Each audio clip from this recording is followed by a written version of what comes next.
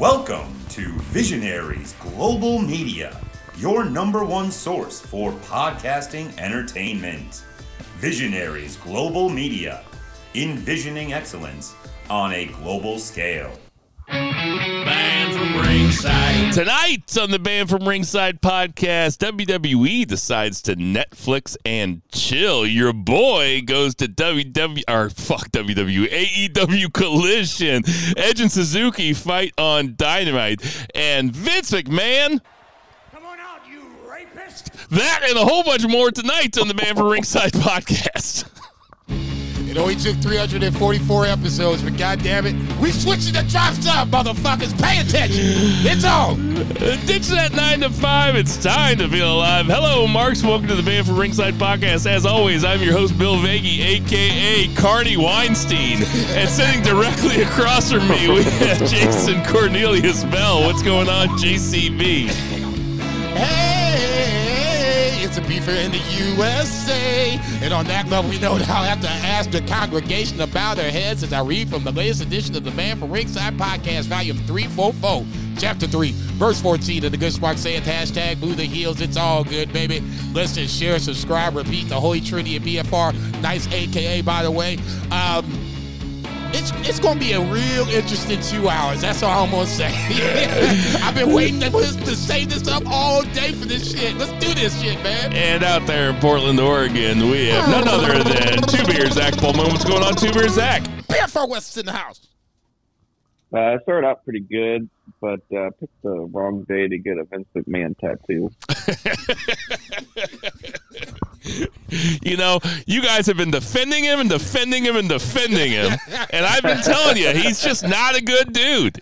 He's just not a good dude. I'm like, why is Vince trending? Oh shit! Uh, plenty, plenty more where that came from. You know, I just want to, just a disclaimer, uh, right off the top, uh, you know, we here at BFR, and I know I speak for the boys when I say that we take allegations and we take the crimes that Vince McMahon is accused of very seriously. There is no doubt that we take them seriously.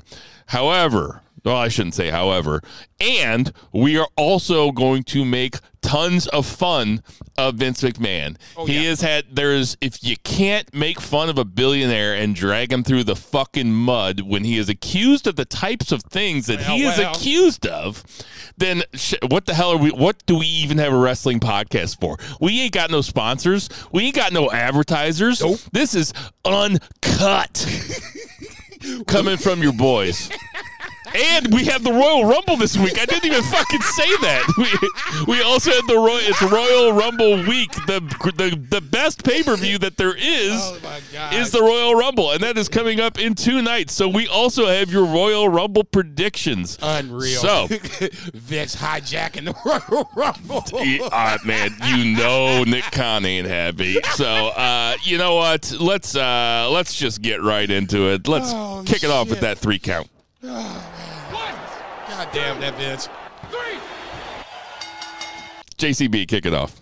We're going to start with good news on the WWE front before we get we start dragging poor Vince through the mud. The good news for WWE is that they got signed a monster ass deal with Netflix. So Raw will be moving to Netflix, SmackDown is moving to USA, and then in a little bit of a surprise move, NXT is going to CW. So let's break it all down.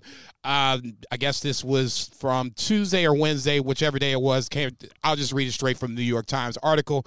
Netflix reached a multi-billion dollar 10-year deal for the exclusive rights of WWE's flagship weekly show Raw as streaming uh, the streaming giant broadens its offerings to live more content.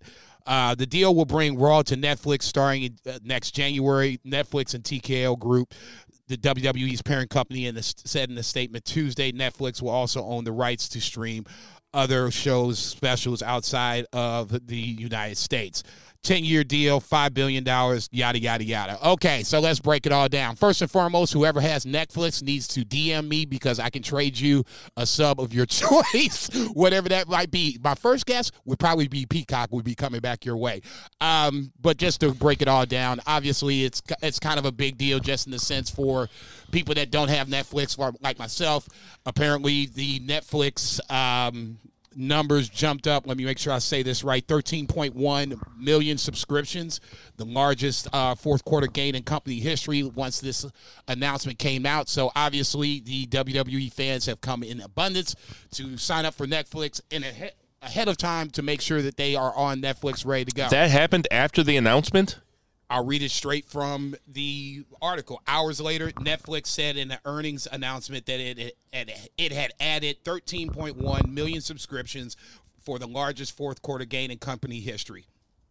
It wasn't because of WWE though. That's just 13.1 million like in their fourth quarter. Like it wasn't like they announced it and 13.1 million marks just signed up for WWE.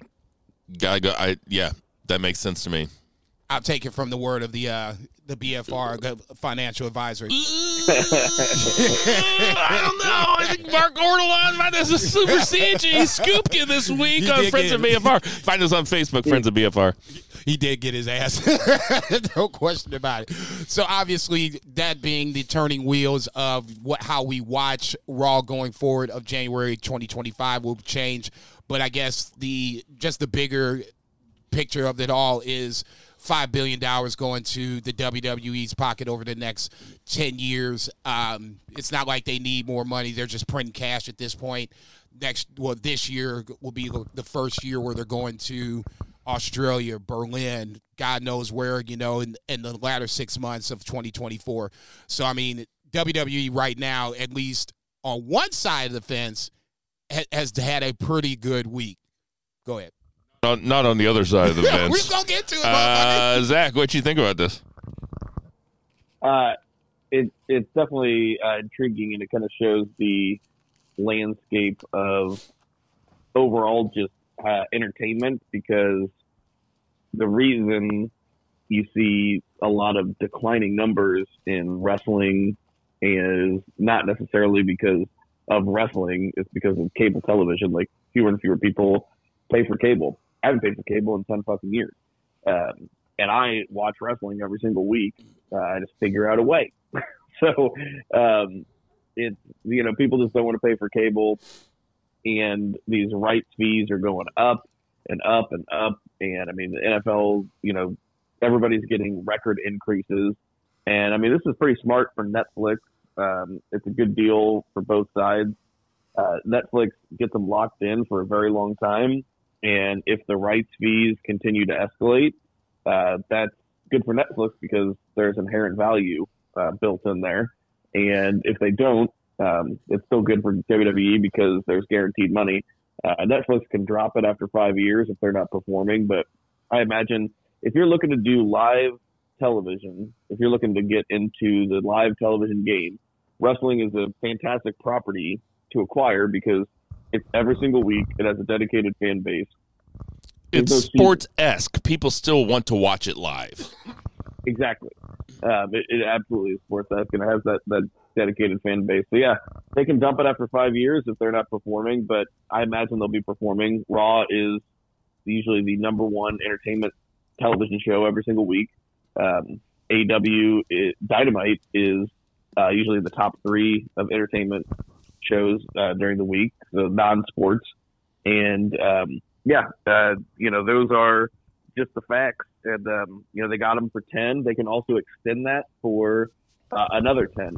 So you know they got them locked in. I think there's there's a there's an increase, a built-in increase if they extend it past the ten. But uh, I mean WWE's on Netflix for uh, the foreseeable future, and I mean I think it's a good fit. I'm happy. Uh, I've got Netflix. I've had I've had Netflix since discs, and I've always been a subscriber. I've never canceled it, and uh, not even for a single month. And um, this, I was actually kind of debating about it because I have a lot of other streaming services, so this will keep me on, and um, I think it'll generate a lot of subscriptions, new subscriptions for Netflix. Um, cool thing is, is you know the library and uh, also it being like a three-hour show. Like I watched the Hulu version today, and uh, I did not get to see Chad Gable and Ivar, which I'm sure was pretty probably pretty dope. It was Um, great. Yeah, didn't get to see it because it wasn't on my version. So I watched it Better than I but anyway, anticipated for sure.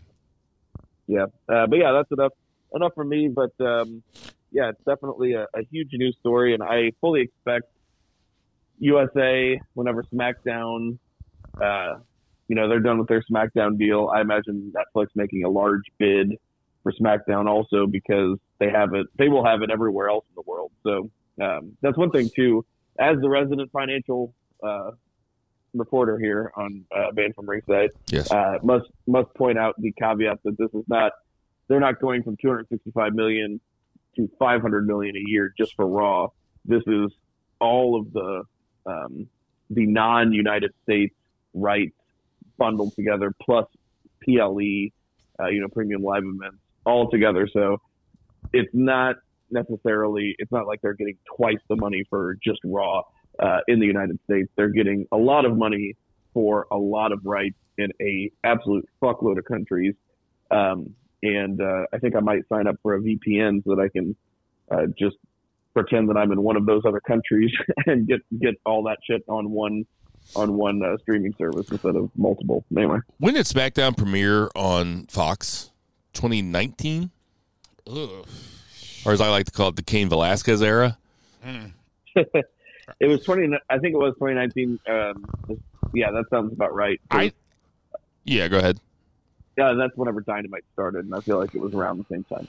So I think that this WWE going to Netflix in 2024 is as big of a deal as WWE going to Fox primetime on Friday nights in 2019. I think that Netflix as a brand is like pretty ubiquitous in American culture at least. And there's a lot of shit on Netflix that is in the cultural dialogue a lot. And a lot of stuff that's not very good sometimes too but goddamn that F1 show what's it called like that F1 show people talk about that show people watch that show and now F1 has like a new fan base off of that Netflix docu series WWE is made for this shit. There will be reality shows, supplemental entertainment, those documentaries. Man, when shit shows up on your Netflix, you are way more apt to watch it than you have to seek out Peacock to watch WWE. You don't have to seek out Netflix because way more people have Netflix than have Peacock. This is a massive, massive deal. And I don't want to get hyperbolical hyperbolic. You knew what I meant. Yeah. I don't want to get hyperbolical, but like this might be like kind of the future of WWE is basically you you watch regular wrestling, which is like a docu series anyway, but it's a kayfabe docu series, and you put that alongside real docu series, and then the, you're going to start fucking with storylines. There's a lot of different ways they can go with this, and um, creative people can really do a lot, and way more eyes will be on it because it's on Netflix. I really think this is a massive deal. SmackDown moved to Fox on October 4th, 2019. Um, kind of piggybacking on what Zach was saying about. Cain Velasquez Day. God damn, that was a. God, you remember all the Vincels defending that on Twitter? God, they really showed their ass. Man, That's like man, a prank man, to see how far they'll go. oh, that sucked. Never again. Um, piggybacking what what uh, Three Bear was saying about streaming services and you know the way this is going. Um, the what was it? The Chiefs game this weekend was on Peacock and Oh, didn't have it was a mess, dude. Oh. Because I have Peacock and people use my Peacock, Yeah. but you can only have three devices on at one One time. time. I had two different people text me and be like, "You have to tell people to get off your Peacock so I can watch a Chiefs game." It's like, nah, dude, Figure it out. Figure it out. It's about to say I, I don't give a fuck about the Chiefs, but ultimately, Just change thi- change your password. yeah, man. about to say I'll fix you, motherfuckers. From Charlie Sheen sixty nine. I think that's the way that this all is going to go. WWE's kind of just jumped the line and just beat everybody to okay, we're going to you know we're going to do a streaming service with Netflix. I'm and telling you, keeping it going. this is way bigger The for NFL WWE than it is for Netflix. Watch the NFL do the same thing now because that now they've seen all the chaos that is it ensues. So now people are going to want to watch their football teams the same way that we as marks are going to want to watch our wrestling. It's a bubble, man. It's going to burst at some time. At one point, people are just going to be like, man, fuck the Chiefs. I say, dog, you saw that It's shit going to work. burst. You saw that shit work. Motherfuckers was coming out, and when they wanted to watch the game, they were they were trying to you know find a way around Peacock the same way people were trying to find a way around Netflix. This is the way that it's going to be moving forward. Streaming services, Netflix, Peacock, Hulu. If you don't got one, you better get one because ultimately, this is where I think it's all going to go, especially on the way of sports. Uh, any other thoughts on the big deal, Zach?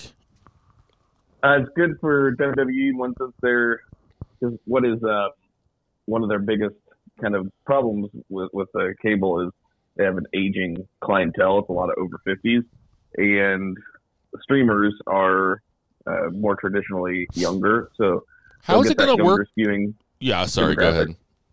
No, it's uh, yeah, they get their, that younger skewing demographic. Yeah, because everybody that watches wrestling is our age. I think that's beginning to change, but in general, it's true. Um, how's it going to work with commercials? I just think Uh, that- they will likely run um, commer- like they'll still have commercials. Nick Khan said there will be commercials, but um, hopefully they stop running commercials in the middle of matches because they won't have to hit times. Oh man, the stuff that they're going to do, like the Mountain Dew Pitch Black match, fuck Oh, yeah. off. but it's going to be like the Bridgerton bra and panties match. Jesus Christ almighty. I'd watch that, I am no pervert. But I would watch it. Advertisement for Uh, yeah, I mean that's all I got about that. We're not, you know, you know, we do have a business reporter and a journalist, but that's not the skew of the show, you know. So I don't know how much more we can say about this, but it is wild and it is big news. Fucking, I, we are in such an era. Of, we are going through quite the era of pro wrestling right now. It is, uh, it's really something. I mean, don't you think?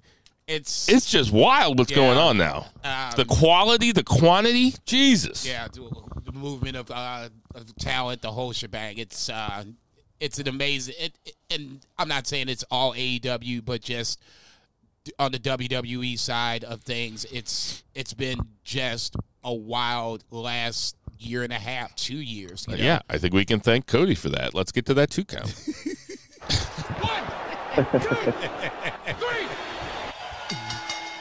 Probably can. He's like the tiny domino. It's like Cody Vince wants. It's like the tiny domino is Vince wants Cody to wear makeup, and the big domino is WWE signs ten billion dollar deal with Netflix.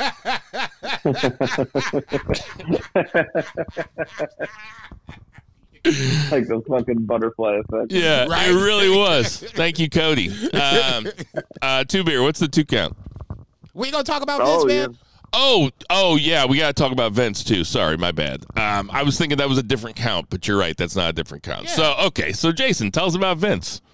Yo, boy. Jason, read the text messages from front to back, the entire things. It'll take no, I'm kidding. It'll take was tw- about to say, it'll take, it'll don't take- fuck with me. It'll take 20 minutes. I was about to say, God. I was about to say, I had that shit up in five seconds. Don't be fucking with me. tell the people what happened. gonna. It would just. uh Then Bill has a fucking lifetime worth of drops. oh my god.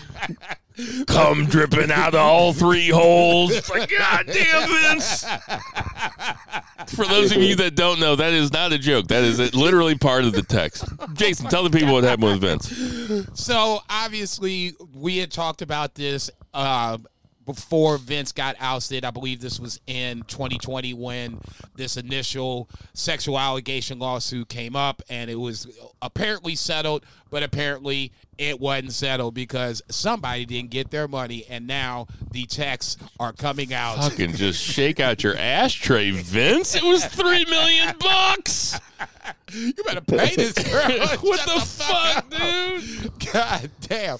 So obviously, I shouldn't say obviously. If you haven't been paying attention, the allegations have come out with receipts of text messages from this woman. I'm not even going to try to dig up her name at this point.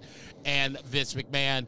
Um, I'm not even going to read these text messages. I just No, her name was. We should say it. It was Linda McMahon.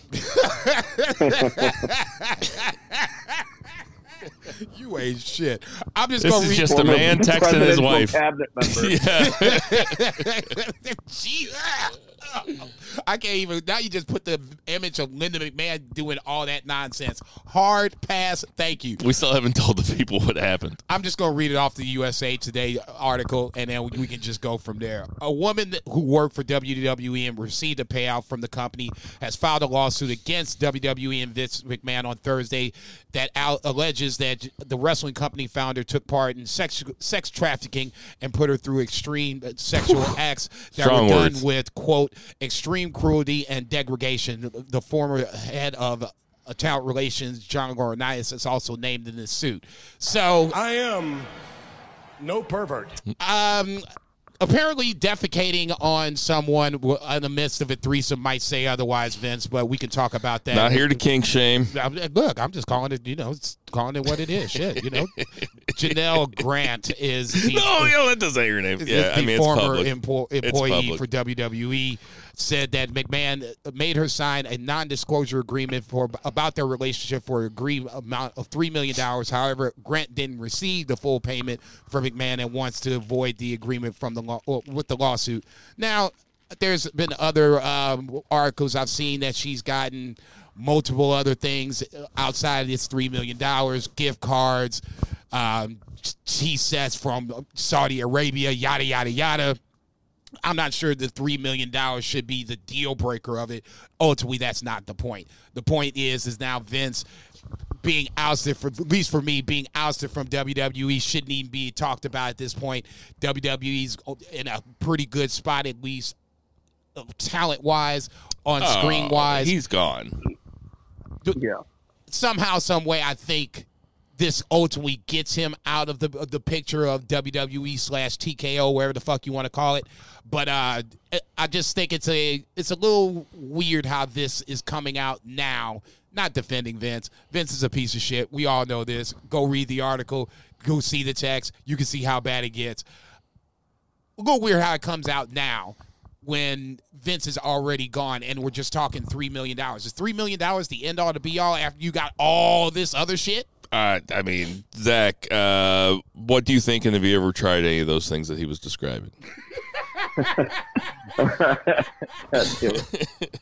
uh, it is like I've got a pretty like I mean I grew up on the internet so I got a pretty strong stomach for stuff and this uh this fucking really made me sick reading it and the the most insane part to me and you were talking about on the group text which I was not able to participate in because I was busy but um God. dude, like the just the most offensive part is really the spelling. I mean, who spells pussy P U S S E Y? the English majors strike again. So Ham texted me at like three thirty or something. He's like, "Have you seen the new Vince McMahon text?" And I was like, "Ooh, here we go." and that was the first thing that I said to him. I was like, "Does he really, when he texts, does he use the letter U instead of the word U?" And like, he texted like a like a twenty two year old on Twitter. no doubt. No, like he, dude, this this fucking. It's the only thing that makes me think it might be fake. I I, I don't think so. I, just almost want he- to agree. He's almost eighty years old. You know that he started texting because he was rich. You know, and he had he had every at you know pagers and everything, so he was used to the abbreviation. Probably just got used to that. Um, but uh, dude, like the descriptions. I mean, it was all like horrible. It, like it, it's the worst thing Really bad. you can imagine. But he like his description, it was like my you suddenly taught my five year old nephew like a bunch of terrible, dirty like sex words. Yeah. that's what it sounded like. Yeah. He's like, I want them to shove their cock down your throat as far as they can, but even farther. Yeah. Like, Like, yeah. what are you, six years Yeah, old? it is so Uh. it is so so childish and like I guess you would call that like a humiliation kink. Uh yeah, you would think that he would lot. want to be humiliated though. Like I thought that was the thing is that guys with power like to be humiliated. That's always the uh that's the way I You think about guys in power though. if- dude. Like you can tell just as a WWE fan that Vince has a humiliation kink for other people. Yes. Like Yeah. you, you think like he's been humiliating people for fun. I mean, I mean, that's a Dusty really good Rhodes point. and Polka Dot, like FTR shaving each other's backs, like all the fucking The shit. Kiss My Ass Club. Yeah, all that stuff. Man. Like he's he's probably been blasting ropes to his own show for years. he is the genetic jackhammer. And he's like, I mean, he- the dude never grew up. He's 76 doing this stuff. He's 76 year old man, like doing this stuff. Like, uh, that, that makes it even worse. I don't know, man. Uh, it's, it's like, it's so ridiculous. Uh, but uh, yeah, you, you feel so bad because you know that No, I don't feel bad for that motherfucker. Not at all, man. Fuck that. No, not him. Oh, I he feels I- bad for the girl. Man, go- oh, would- I don't feel that I'm bad for her either. You don't feel No. bad for her, Dude, I'm so crazy. No, I'm dude, I'm sorry. She is over here willingly going back. Blow the fucking whistle. I am sorry. There is a certain point where you have come up, and this is the fork in the road where if you decide you're going to go down this road and keep fucking with Vince, this is what you end up getting. If you say, hey, you know what, Vince, we cool, but I'm gonna have to get another job or do whatever I need to do and not go down Yeah, this road. whoa, hold on, then hold you on, gotta hold go on, down that road on, too. Hold on, hold on. We shouldn't victim blame here, though. We should. We really shouldn't. Shit, that's, like, a, that's a terrible take, Jason. I love you, but that's like the worst thing you've ever said in your entire life. Yeah. like we gotta like we gotta give her some breath. But um, so he's got to be gone for good, right? Oh, I mean TKO, they put the word horrific in their very general statement. Uh, like you don't norm- normally those are just full of bland statements. Like we're looking into this matter and discussing internally. Like they said, like horrific claims. Like they're basically, I'm sure, just figuring out how to get rid of this dude uh, as fast as possible. They're drafting up the paperwork. I would be surprised if he was still in the company by the time SmackDown airs tomorrow. How Damn. how long did Triple H know about this? Oh, you know he knows. You know he knows. Of course he does. What he said So- something about it is something totally different. I will not be watching the Royal Rumble this Saturday because of it. Yeah, right. Yeah, he's gone. He's gone. I'm not saying is Vince on the show. No, I then I'm watching the Royal Rumble. mean, I only want to see Vince. was. The only Vince I want to see on that show is if he blows out his quads again. I would. I would be surprised if Vince would be be on the show. Number one and number two. Somebody put this on Twitter, and, it, and this is what you know made this kind of funny when he, he was initially ousted, and Stephanie came out, and everybody Oh, was like, you know, thank you, Vince, Yeah. and then she started to rile up the crowd. That's something that I would, you know, I always kind of look back and be like, eh, yeah, right. No, that was fucking weird. That was fucking weird. And then she was gone. And then Stephanie left. I mean, it makes a lot of sense that she's not around. Uh, one thing we didn't mention is uh, somebody else who was mentioned in the Wall Street Journal article, which is Brock Lesnar, and mm, did not they did not mention that he uh, actually did anything, but just that he that this woman uh, was unfortunately offered to him. Um, and based on the text messages uh, that Vince said, it sounded like um, he might have uh, turned that down. I don't know. I didn't read the 77 page court document, but I will because uh, once I uh, have no food in my stomach, um, so maybe just in the morning, uh, just ruined my day right off the bat. but um, the uh, yeah, like so I imagine I was fully expecting Brock to be there uh, Saturday, and I fully expect him to uh, not be. not be. Yeah. Yeah. He won't be at the Royal Rumble. from what I understand, that was a part of trying to resign Brock Lesnar using th- this woman as a part of the deal. and from that point, allegedly, uh, I believe he he being Brock Lesnar watched this woman urinate or some crazy shit, called her a bitch while doing so. I don't know. That that's where you have to really do the deep dive on this 77 page report. Apparently, that's out there. So if you want to deep One for every year he's so been be alive. Uh, Jesus Christ. Um, it's I don't know. Vince, Vince, I'm, I'll be surprised if Vince goes. I just have to see it. Yeah. As fast as it, fast as Friday tomorrow, that's e- that even blows my mind. Is it going to happen? Ultimately, I think it does. I just don't think it happens anytime soon. I just I feel some way. You know how Vince is. Somehow, some way, he gets out of this every fucking time. Enough of that, rapists. Let's get on to the two count. One, two, three. Two beer. What's the two count? Uh, so speaking of shit, there was a AEW Rampage. Um, I'm like, wait, wait. What did, what did AEW have shit on? Did I miss no, no. Um, actually, really wasn't that bad. Rampage was was pretty decent. Um, there, uh, I won't go through everything, but uh, Darby Allin versus Jeff Hardy uh, was not as bad as I thought it might be. Uh, that on a variety of ways. Uh, that was the main event. I fully expected Jeff Hardy to get uh, very, very hurt, uh, but Darby pretty much threw himself all over the place and did most of the crazy stuff. Jeff, the whole story of the match is like Jeff trying to keep up with Darby. He did do a swanton off like the post onto a table or through a table on the floor. Uh, that looked like it sucked. Mhm. But yeah, for the most part, this was like all Darby ping ponging around, and he they did all kinds of crazy shit, and Darby ended up rolling him up uh, for a pin. So um, they kind of protected Hardy a little bit here. Uh, but uh, yeah, did you guys see this match? A for effort from Jeff Hardy. I mean, at least he's out there trying. I just don't know where to Yeah, this is the best he's been in a minute. I don't know where you go with the Hardys at this point. Ultimately, on screen, um, this match it was better than what I thought it was. It wasn't by any stretch a, a great match, but uh, the roll up part was just kind of weird after you do all this crazy shit.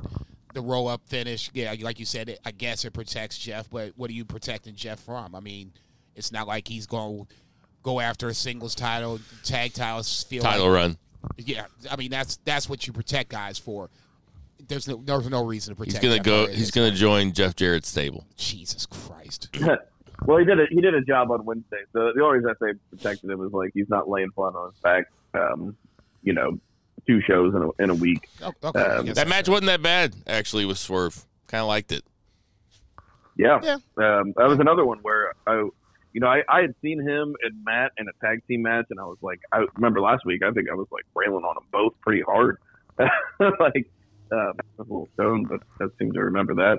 And, um, like, the, um, yeah, so, but this, yeah, this week was a pretty decent showing. Uh, also pretty decent showing. Kris Statlander and Queen Aminata. Uh, good matchup. Both, uh, both like tall, strong women. I thought this was kind was a fun matchup. Um, Queen Aminata is someone who has been pretty impressive in her losses, and they should probably start giving her wins because she's coming off pretty good in those losses. But uh, you don't have a ton of women stars, um, and you know she's basically uh, just jump forward to Dynamite. Uh, she lost. Oh no, wait, sorry, that was uh, nah, man, that's terrible. I just mixed up Queen Aminata and Red Velvet. Um, I caught myself. so, um, yeah, yeah, yikes.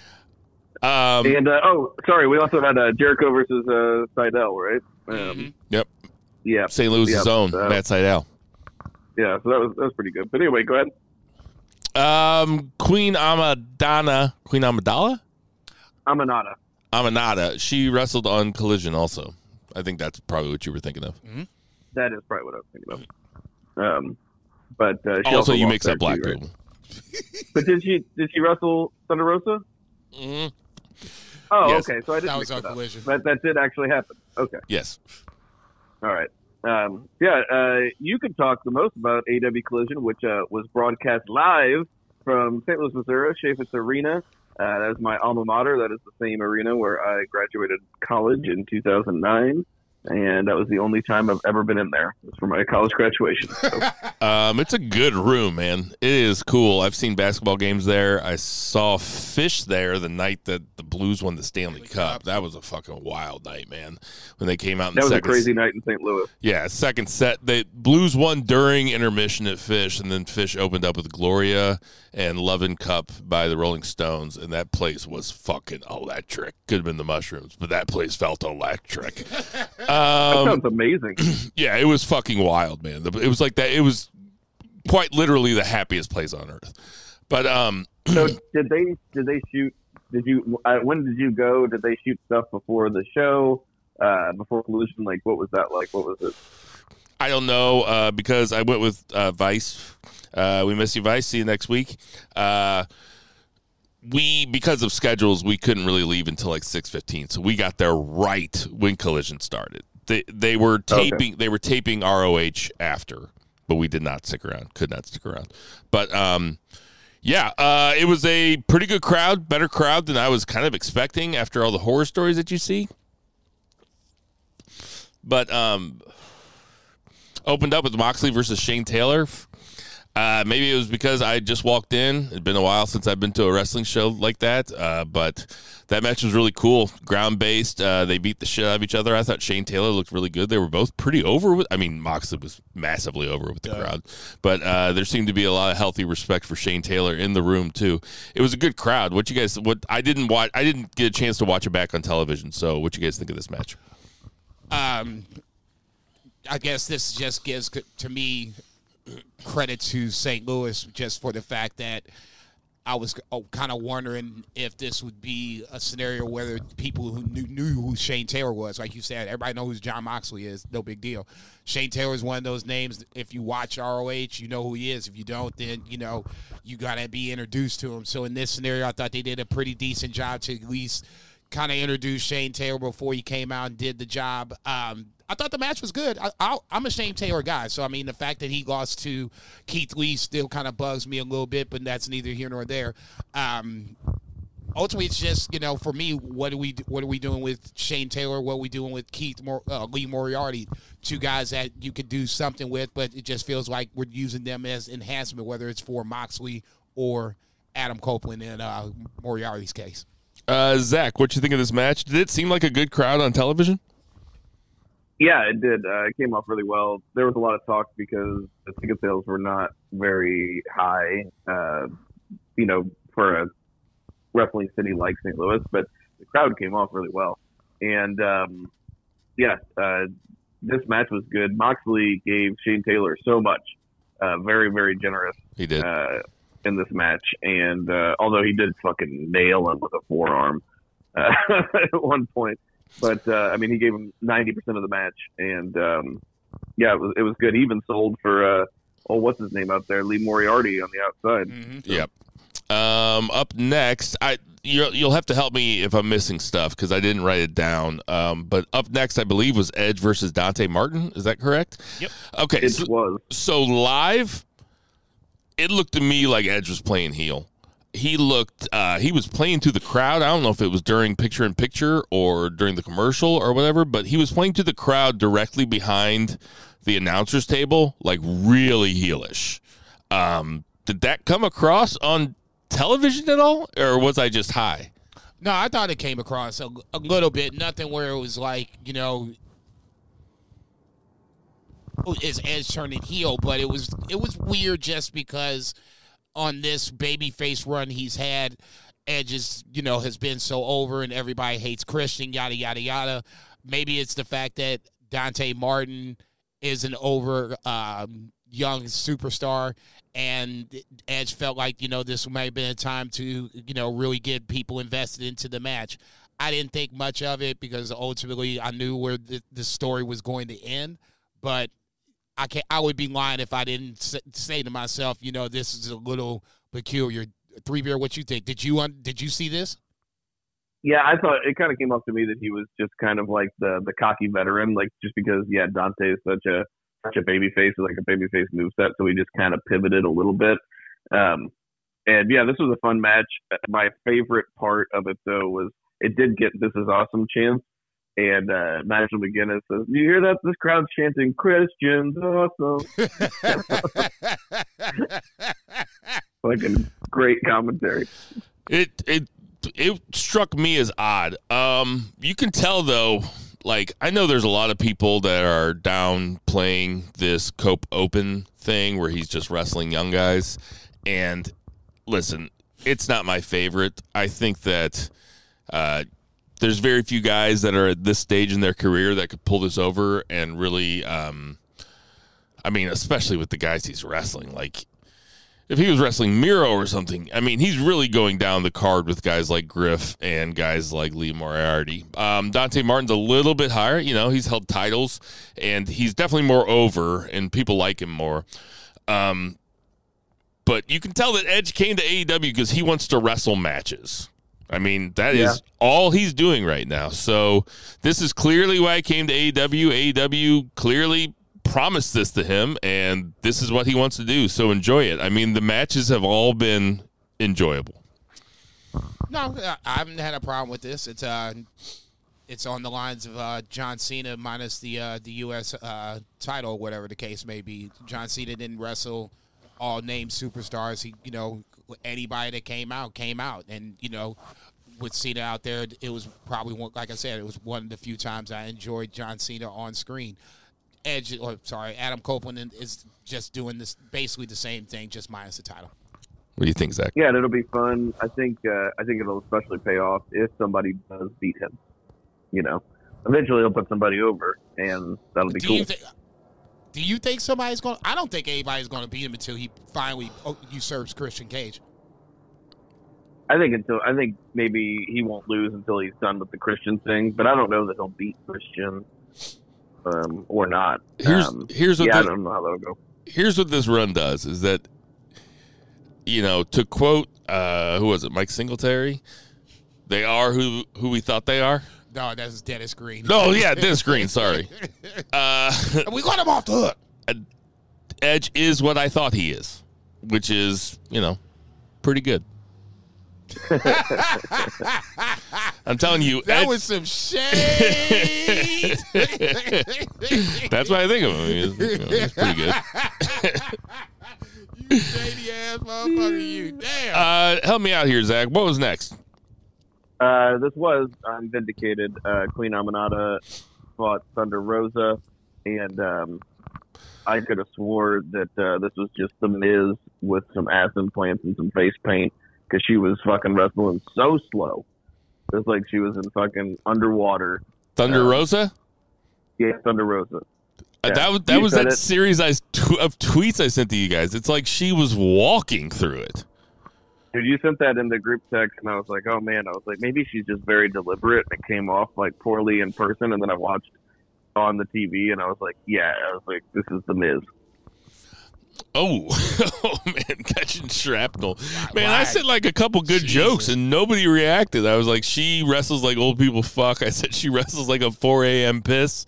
what That's else did I? horrible, dude. Horrible. I was, uh, I was, I did not see them until much later, so I was not. That's uh. That's fair. I don't know what I was doing. That's yeah, fair. I, I was She at wrestled work. like, sorry, not she sorry. wrestled like Yadier Molina runs.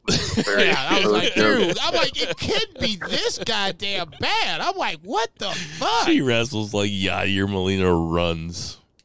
I'm just I'm tickled with myself. I'll just say this. In Thunder Rosa's defense, this is their first singles match when that was since 2022. You know why that piss one is a bad joke? Because 4 a.m. piss is I'm more. It's more like a fire hose, dude. Yeah, you're, you're going to be there for a little bit. I'm blasted against the wall. I'm like, "Whoa!" anyway, sorry. Uh, oh yeah, I did forget. Uh, I was just looking back in our group text. I forgot on Rampage. Uh, Ruby Soho choked uh, Haley. What's her name in the back? And uh, Harley I think Cameron. that uh, that on the Cameron. That uh, that unlocked something uh, in me.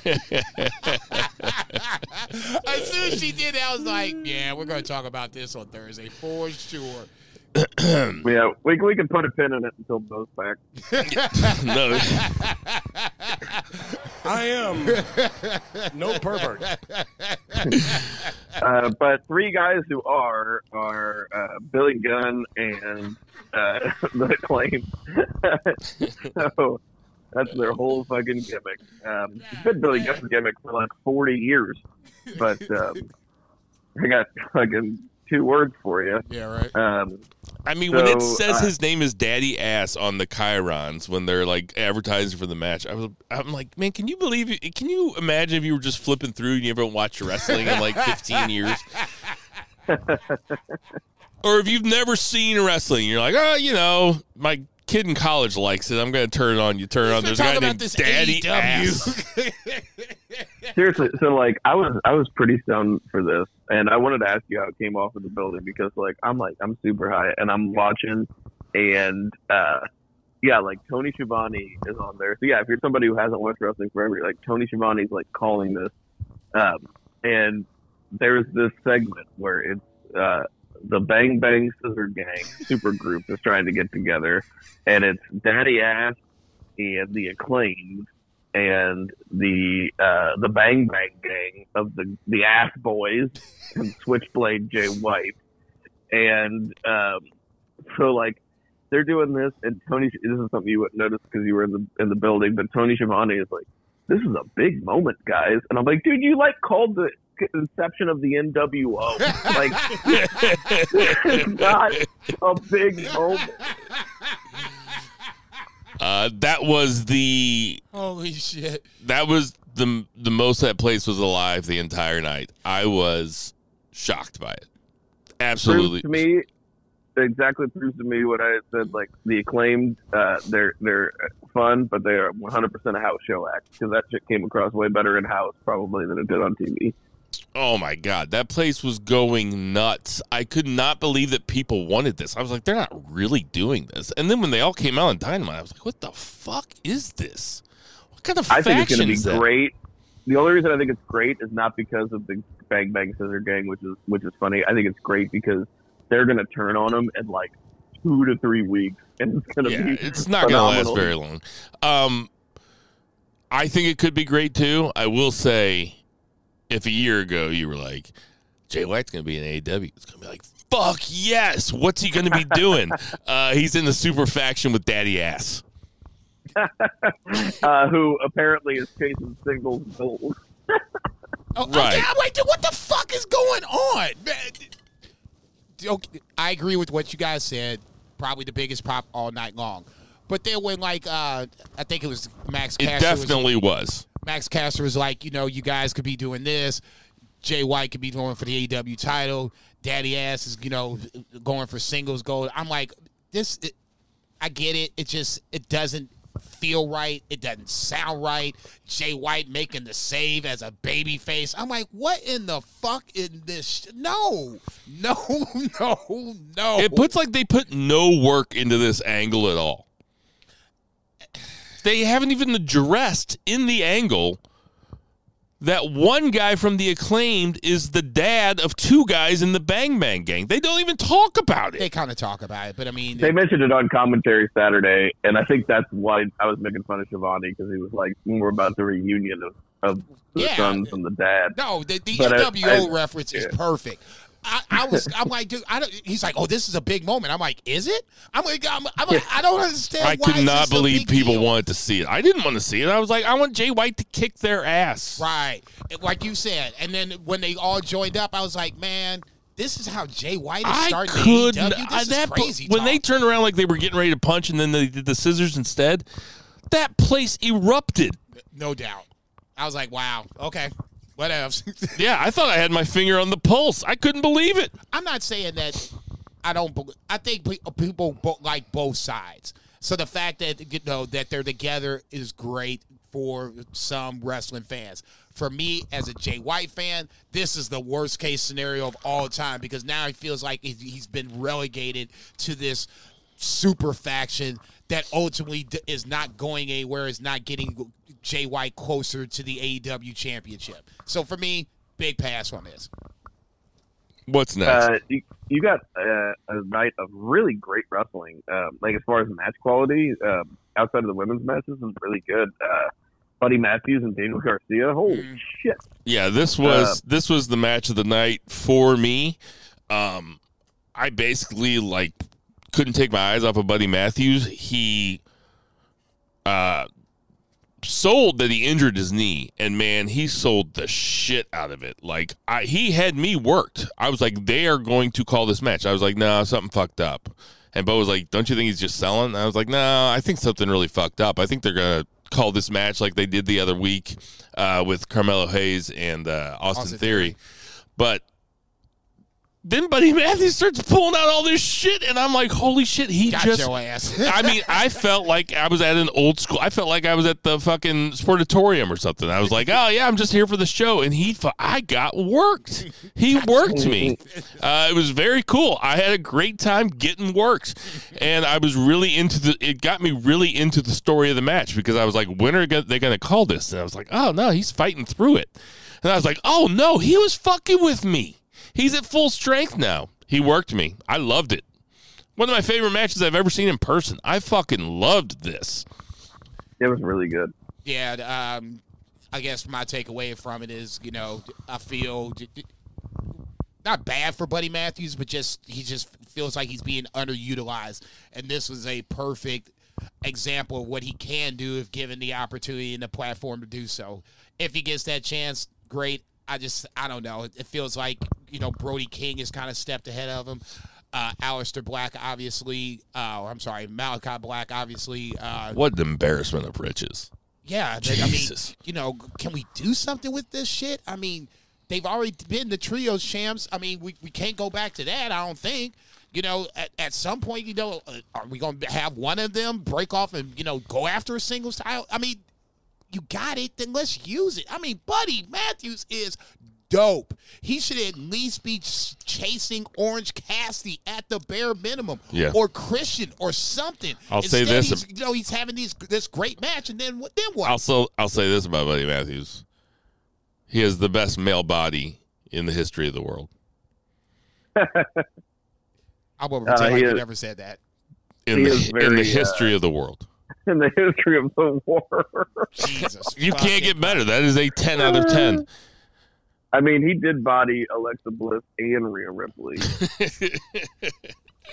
That's range. The, the, uh, That I'm not gonna sit up here and say the man ain't got game. I mean, damn, you gave me a, a you know a little accent. I might have a little game too, motherfucker. I mean, what the fuck?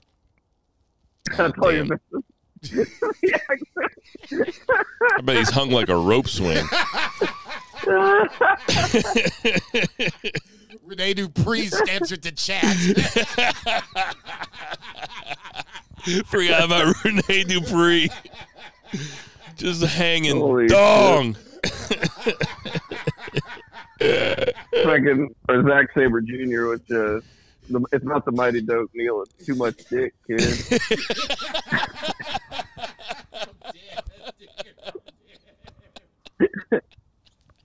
That's So- never going away.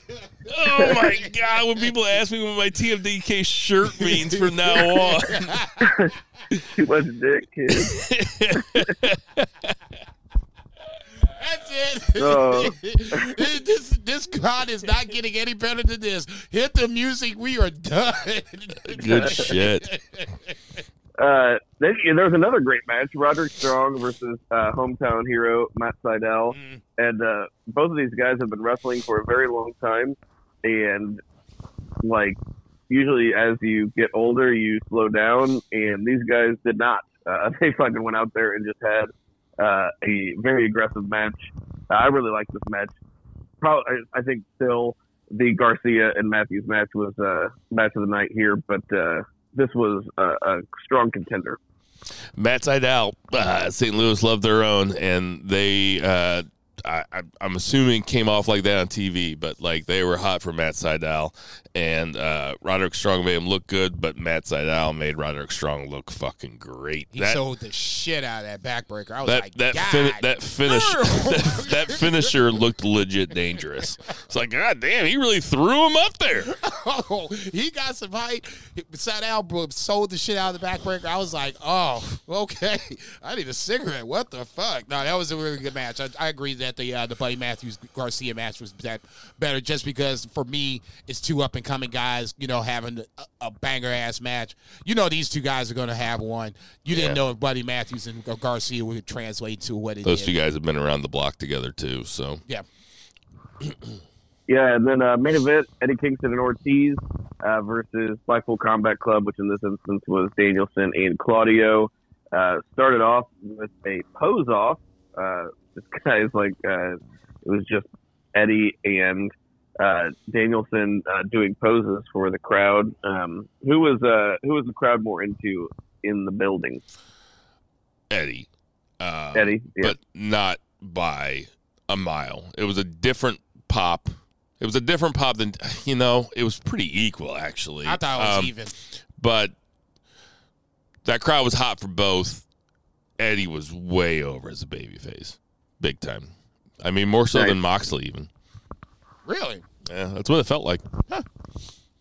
That's cool. Uh, and then, I mean, Ortiz is out there, you know, like from the beginning, he's out Oh, there to uh, to take the pin. But at the same time, as There's- soon as I there's saw that worse- shit, I was like, ah, shit. yeah, there's worse things to be doing than the Right. job in the main event of a of a television show. So, Yeah. uh, I'm sure he wasn't mad about it. Fuck it, I ain't been on TV in how long? Shit, I'll eat this pin. Fuck it.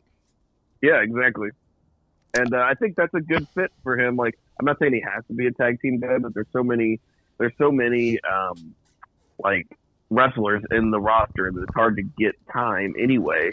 And so if you put him with Kingston, who gets TV time, um, whose gimmick is that he just hates promos, which is funny for a guy who is so good at them. But every time he cuts a promo, it's like, when can we be done with this? You just interrupted my meditation. I'm trying to go out here for a match. I'm about to either get beat up or I'm going to beat somebody up. And you got out John over here like, nah, nah, nah, nah, nah, nah, nah.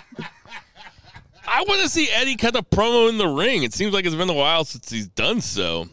Uh, this Yeah. this match was exactly what you thought it would be. It was really fun. It was way more um, goofy. You know, starting with the pose off. Like they went out there to have a little bit of fun, and they did. Eddie is like really old school wrestling. Like I mean, at least he was there. He was he plays.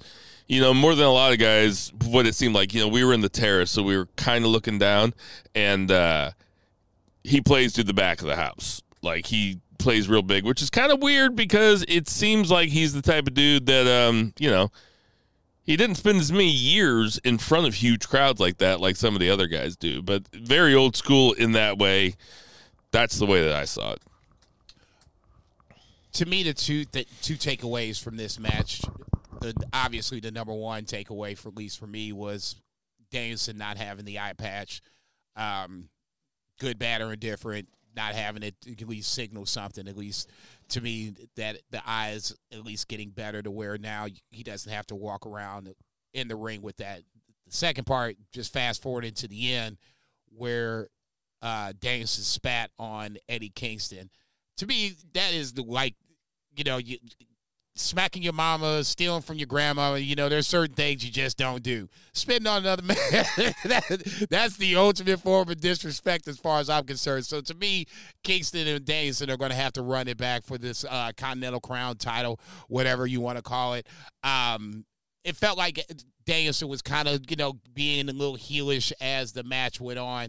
Once he spat on him, I was like, okay, that's full heel on type shit. So to me, that was the takeaway. The biggest takeaway from that match is now we're going to probably get Eddie uh, Danielson part two with more stakes on it with the uh, the title on the line. So that's something to look forward to. I don't see Eddie losing, but it's Brian Danielson. Weirder shit has happened, so we'll see what happens. Right on. We uh, had AEW Dynamite on Wednesday. Opened up with Samoa Joe, and um, he cut the promo basically that uh, folks got to get on his level, and uh, basically he's going to be putting motherfuckers out just like he did Hook last week. Hook comes out. I was like, oh, kinda- no. I was like, don't catch that work again. Damn, boy. Yeah, but uh, yeah, he shakes shakes Samoa Joe's hand, says, uh, "I'll see you again." Samoa Joe says, "I bet you will." Then he uh, starts. Then he kind of disrespects him and Get uh, has wor- security get come this in. unworthy man out of my ring. I was like, damn. yeah. But uh, Hook throws the security around and just kind of heat Hook back up a little bit. But um, yeah, it's, uh, be interested. I guess I still feel like we're on the Swerve and Hangman grind because uh, next we had Adam Page and Penta El Zero Miedo, and Adam Page was out there. And besides uh, a really good match between Page and Penta. Uh, the real story was a was uh, Samoa Joe on commentary Mm. and Page looking at him like the entire match. Uh, so No, just Samoa Joe on commentary was perfect. I wish he would have been there for like all the matches that uh, had something to do with him. Swerve and um, included obviously versus Jeff Hardy. Um, maybe interested to see if how he would have looked at Wardlow if he would have been on that uh, that match as well. But this match was, you know, it was a good match. Don't get me wrong. Penta is one of the best you have on the roster. He can do basically anything you need him to do, whether it's singles, tag, trios, whatever the case may be. But yeah, the the story of the match was, you know, Page and Samoa Joe feeling like they're on a collision course with Swerve coming right behind with the rankings now coming back. Um, that's going to have some sort of play into this. Even Samoa Joe was, you know, put the rankings back over, and it was basically like, you know, now this is a way to keep the unworthy away from me. So this is all a play into what's going to happen into Samoa to Samoa Joe, but then on the back end, you're going to be looking at the rankings and how things are going to be looking going forward. What did I miss? Just we're talking about Joe and Hook. Yeah, Hook comes out, and uh, my knee jerk reaction is like, "Oh God, please don't come out here and try to fight Joe again. You don't want that." And then uh, obviously they had the uh, the little talk. Hook throws the security around like a bunch of bitches. Yeah, I don't know why Hook had to beat up the. That was You had no. I, I it totally looked, get it. It looked no, kind of dumb. no, I I agree with what uh, Three Bears said. You had to get Hook looking strong again. If he throws around a bunch of random ass dudes, that's the way to do it. I, I think the Hook going out there and shaking his hand and standing toe to toe with him was about as strong as he can look. I'm not disagreeing with that. I just don't think that looked very strong. I mean, listen, I really liked that match last week. Just let it go. Is Hook really going to see Joe again? I don't know. yeah, it actually came up. Uh, I saw it twice because I googled uh, Big Samoan fucks twink, and that was the first thing that popped up. Jeez. I am no pervert. but uh, uh, so, dead. what the fuck? You got some good ones tonight. um, uh, especially squeezed Orange Cassidy in the back with Renee. Uh, she asked him about Roderick Strong's challenge, and I love his answer. It's very Orange Cassidy. He's like, Mm. like, what's your reaction to that? And he's like, my reaction to that is, okay, I'll wrestle you. But he said he's not He's going to. The important thing is he said he's not going to stop wrestling, right? So, I mean, he might Yeah. not go into the pay per view with the belt. That was his point, right? right. I love that because they said we were just talking about this last week where Moxley challenged Naito, but they didn't say it was for the title because we don't know if Naito will have the title. Yeah. Whereas if they bill this for the international championship, um, you know, it's disingenuous because it's just basically And telegraphing every match between here and then. And it wouldn't make sense for Orange Cassidy to not have any title matches between now and then because he defends it twice a week. Yeah. So I mean, Yeah. No, I, I love the this segment just because it it's classic Orange Cassidy.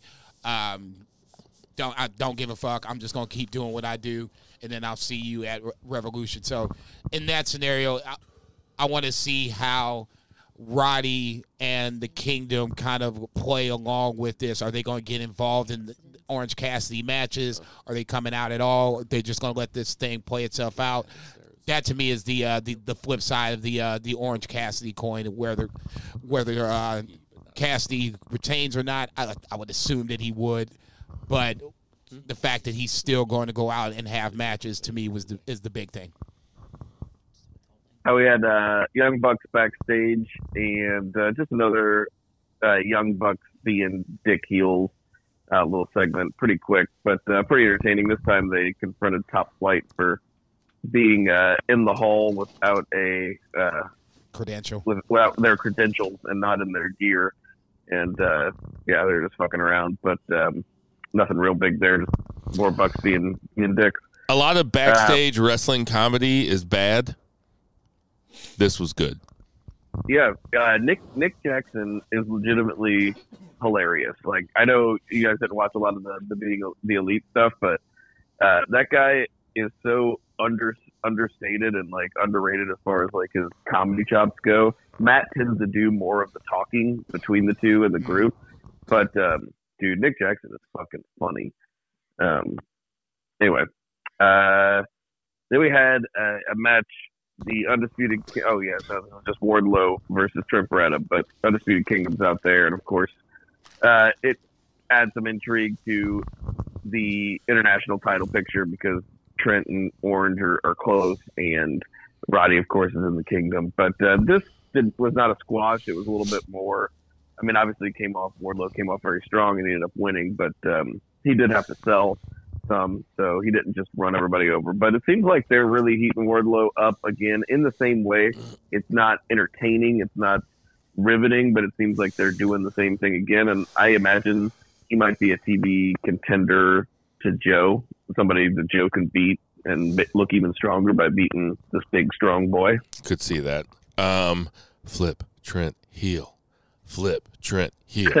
flip Trent heel. I'm ready for a Trent Beretta heel run, Agreed. Uh, I thought it was going to happen. and last I week. do like seeing more of them though. No, uh, Trent can go. It's just like I said last week. I think we've we've exhausted all we can do with Trent being a babyface, pushing Orange Cassidy post match. You know, is another step towards the dark side. So ultimately, I think we get there now. Does Oh, I didn't see that. He did that Wednesday night. I'm pretty sure that was Wednesday night. Yeah, I'm gonna say it was after the match, and uh, Undisputed uh, Kingdom was coming into the ring, and then Best Friends, you know, basically cut him off because they were looks like they were getting ready to uh, stomp Trent a new uh, mud hole. Then Best Friends cut him off, so Undisputed Kingdom left or whatever, and then they went back into the uh, the ring or whatever, and Orange Cassidy was coming over to help Trent up, and Trent pushed him off or whatever. And I was like, oh, okay, here we go, here we go. So I was I was waiting for something to actually kind of happen there, but nothing ends up happening. So to me, that's just you know, it's another baby step to the dark side. When do we get there? Does Trent cost Orange Cassidy the international title? That would be a nice little heel turn if you wanted to do it. So things to look forward to. Uh, then we had uh, a fun segment between Toni Storm and Deonna Purrazzo. Uh, Deonna Purrazzo seemed a little bit more in her skin this this week. I feel like whenever she debuted and she got that promo, I was kind of uh, giving her some shit because she seemed nervous and she didn't come off like Mariah May, who was like brand new. You know, came off much much better than her. But this was fun, and I think my favorite part of the entire thing was uh, that they would they would show them in the same camera shot, but they would have Toni Storm's hat black and white. I guess one thing to have like the whole thing black and white, but I just I thought that was a fun, clever little bit of production. Yeah, it was super fun. No. I mean, I laughed. No, I totally laughed when they pulled back the ca- uh, did a wide shot and they showed it. I was like, damn, that's good shit. You know, it, they are going full board, leaning into this timeless Toni Storm gimmick, and I'm all for it. I'm here for the ride. Um, the tattoo portion of the segment was the uh, like the the tipping point to like uh, to see Toni to finally snap and was like, you know what, fuck this shit. But uh, no, this, I agree with you too, Beer. This was uh more so Deonna Purrazzo feeling, looking more comfortable, whatever you want to call it. I just, like I said, I just don't think that she's geared to talk. She's geared to wrestle. So if you want to, you know, put her in these segments, this was probably as good as it's going to get. You don't want to keep going back to this if you don't absolutely have to.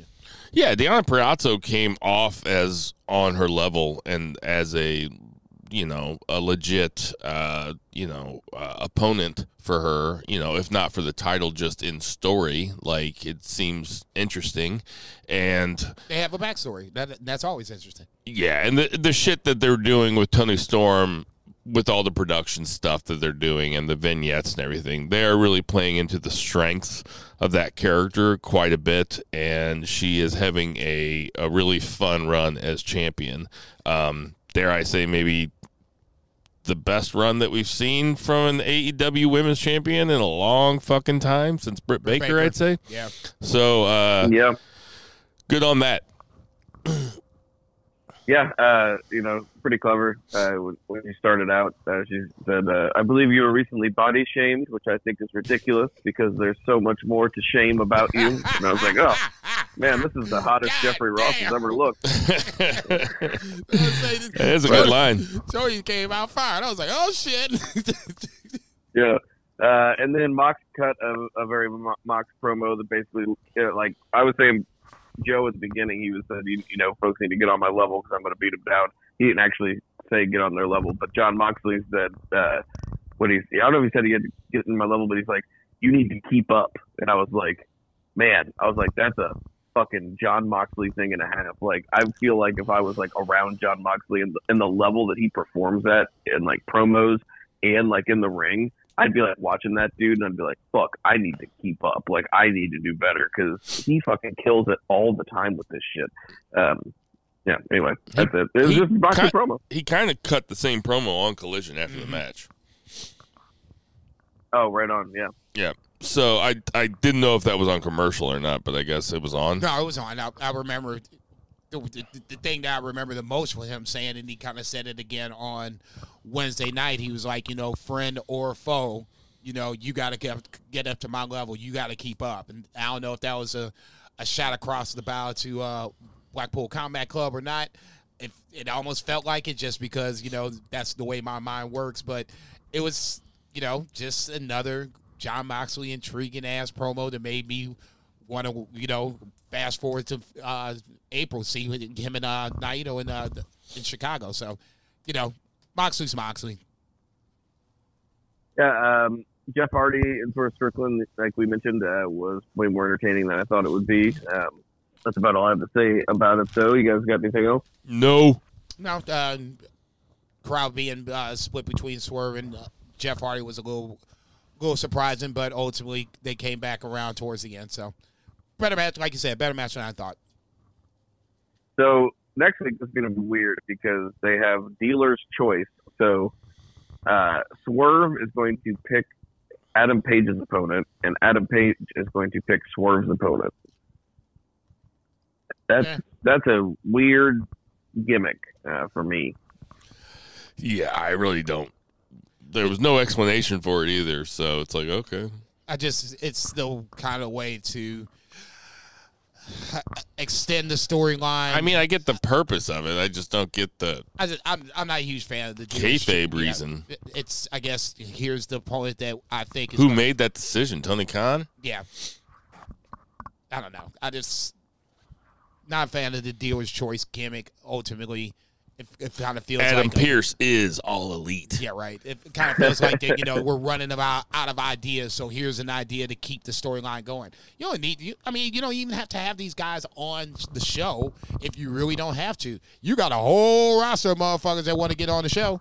Put somebody else on for a week. Yeah, but we criticize them for not really like having like we criticize them for having too many storylines. So at least they're just sticking with Swerve and Hangman. Like we can't criticize them both ways. I don't. Yeah, the uh, I don't criticize. Yeah, about maybe having- don't. Maybe I'm just talking about myself. Yeah, I was about to say I don't think they don't have. Maybe too I should many look in the mirror. Maybe I should take a long look in the mirror. That's between you and the mirror. I'm just saying in this scenario where you got got we were just talking about, you know, fill in the blank, can't get on TV because, you know, the roster's so big. You didn't you don't have to have a dealer's choice to keep Swerve and Hangman going. No. It's it's all that ball is already going. The inertia Although Hangman still doesn't seem as mad at him as he should be. I mean, backstage oh, the other night, they seemed like Zach Morris and AC Slater, like they were best pals, but they don't actually get along. It's like, now wait a minute. Swerve ate, or er, fucking Nana ate your wife's blueberries, dude. kicking skillets and shit. You should be, you should still be super mad at him. I, I think that was just a, a reprieve of, you know, civility at that I'm talking about kayfabe style. kayfabe style. That they should be, Hangman should still be like wanting to kill those I'm guys. Look, I'm not disagreeing with you. I'm just saying for that one moment, Hangman was not worried about Swerve trying to troll him about two wins. The goal is the AEW championship, and Swerve ain't got it. Fuck Swerve. That's the way I took it. Okay. Alrighty. Um, sorry, what do we have next? We had, oh yeah, Thunder Rosa versus Red Velvet. I feel like the least Wah, said wah. about this, probably the better. And um, Tony Schiavone in the ring to interview Darby Allin and Sting. And it seems like uh, Sting and Darby Allin are going to go after the tag team titles. Uh, being very explicit. So, uh, what do you guys think? They are undefeated, so I mean it makes sense in kayfabe, especially because they're talking about the you know bringing the rankings back.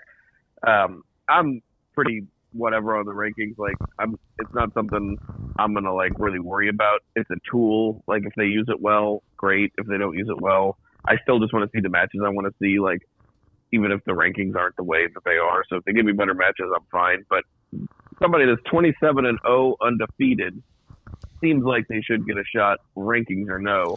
Um, it is interesting though. Do you think they win the titles and then lose them at Revolution or retire with the titles? I don't know. It's, it's interesting. Yeah, I have no problem with any of this. I think that kayfabe style, them being 28 0 means that they should get a title shot. And I also think it makes me want to see the outcome of the match. Like they they're telling a story. I want to see how they finish this part of the story. I want to see if they book them to lose to Ricky Starks and Big Bill because that would be a nice little trampoline bounce for Ricky Starks and Big Bill if they can actually give Sting his only loss in AEW. Am I overthinking that or does that seem right? Um, I wasn't thinking of it that way, but yeah, I mean, just because just because Darby and Sting are undefeated, that would make Ricky and Big Bill look better. My biggest problem with it is why did we take so long? We could have done this. Are we going to be mad if they give it to Sting? I ain't gonna be mad. I just Zach, you going to be mad if they give oh it to hell Sting? no. Not at all. I cool. I might, I might buy a fucking replica belt. I just this could have been done beforehand, and then if you wanted to wrap up with the Bucks, then so be it. I'm not sure if they beat. I don't. I'm torn because I will. I think they're going to ultimately beat Big Bill and Ricky Starks, but that doesn't do much for Bill and Ricky Starks. You don't want them. You don't want Sting and Darby to lose before the Bucks, but they have the titles. Do they beat the Bucks and then Sting retires? I mean, it it just feels like this was like, oh, let's do this before he retires. And when they they could have done this six months ago, nine months ago, they've been around. Sting and uh, Darby Allin have been a team around a, a long enough to where they could have had a title shot. And for whatever Yeah, but if you didn't want to, if you didn't want to beat him, if you didn't want to beat Sting, but you also didn't want to put the title on him, you can't put him in a title match. I imagine that's the only thing that stopped it. Like they didn't want to put the titles on him. But now you're waiting this late? I mean, damn, you know, March 4th or whatever it is, 3rd is creeping around the corner. It's like five, six weeks away. It just feels a little rushed for a title shot. If they win it and then drop it, now you've hot shotted the titles. It just feels like this is it's more problematic than what it should be, and at least short term and then long term. Like I said, hot shotting the tiles doesn't feel like a way to go. Yeah, I don't know. Um, I'd be fine with any outcome. I'll, look, You know, it's funny. Like I'll, uh, when I'm think when I think about it in my head when I'm going over, like I'm like, oh, like I'd be surprised if Starks and Big Bill beat him, but I'm like, that's pretty cool. They gave him a that's a really big win. Uh, but then like if they won, if Sting and Darby won, I'd be like, oh, that's pretty cool. Sting's a tag team champ. He's doing his retirement match as a champ. Uh, and then if he lost or won in his retirement match, I feel like I'd be happy either way too. It's just uh, I'm like, ah, it's kind of it's, I, I like the story. I'm not saying I, do, I don't like the story. I just think that at least the tag team championship part of the story could have been done a little sooner. Not even saying it was, you know, this year or whatever. It just feels like now all of a sudden we got to give him a tag team championship match. I'm just like, dude, you could have done this already. But I mean, it, I'll say this much: a, we're talking about it, and b, we're going to watch. So I mean, c, ultimately, the job is being accomplished. Yeah, yeah. Uh, I think I think this is gonna be a big pay per view, and I think this match has a lot to do with it. No, this, uh, this match is happening on free TV, baby. no, I'm talking about the just the Bucks and um, Oh, oh the okay. thing. Yeah, just because I feel like a lot of people are going to want to tune in to Sting's last match. I think that's a big draw. Um, I mean, it's something that I might even consider spending fifty dollars to watch on my big TV instead of uh, you know streaming uh, for free on my iPad. but Right. um, the uh, uh, I don't even have AirPlay over here. Hey I'm, man, I'm broke. if you get that uh, triple threat we talking about, then yeah, that, that might be plunk, that might be worth plunking down a nice little chunk of change for it. Yeah, yeah. Uh, but uh, they had a trios match, uh, Mogul Embassy versus the acclaimed. Um, I think the most remarkable thing out of this was they did come out as a as a super group, uh, the Bang Bang Scissor Gang, um, and uh, I, I really liked uh, Caster's rap this time. It was different, different flow, different delivery, and it was pretty pretty clever. That's the most remarkable thing for me. I, I like Mogul Embassy. Um, I was just I wasn't really paying attention to this match. Maybe it was good, but it didn't it didn't keep my attention, and I was doing other shit. Exact same. wow, I actually watched the match. Um, I, well, MC I love a, I love a co-host that does his homework. Oh, well, it- it's kind of my job, you know. Um, I was just a little That's disappointed. that, that that's Jason's gimmick is he watches everything. That motherfucker.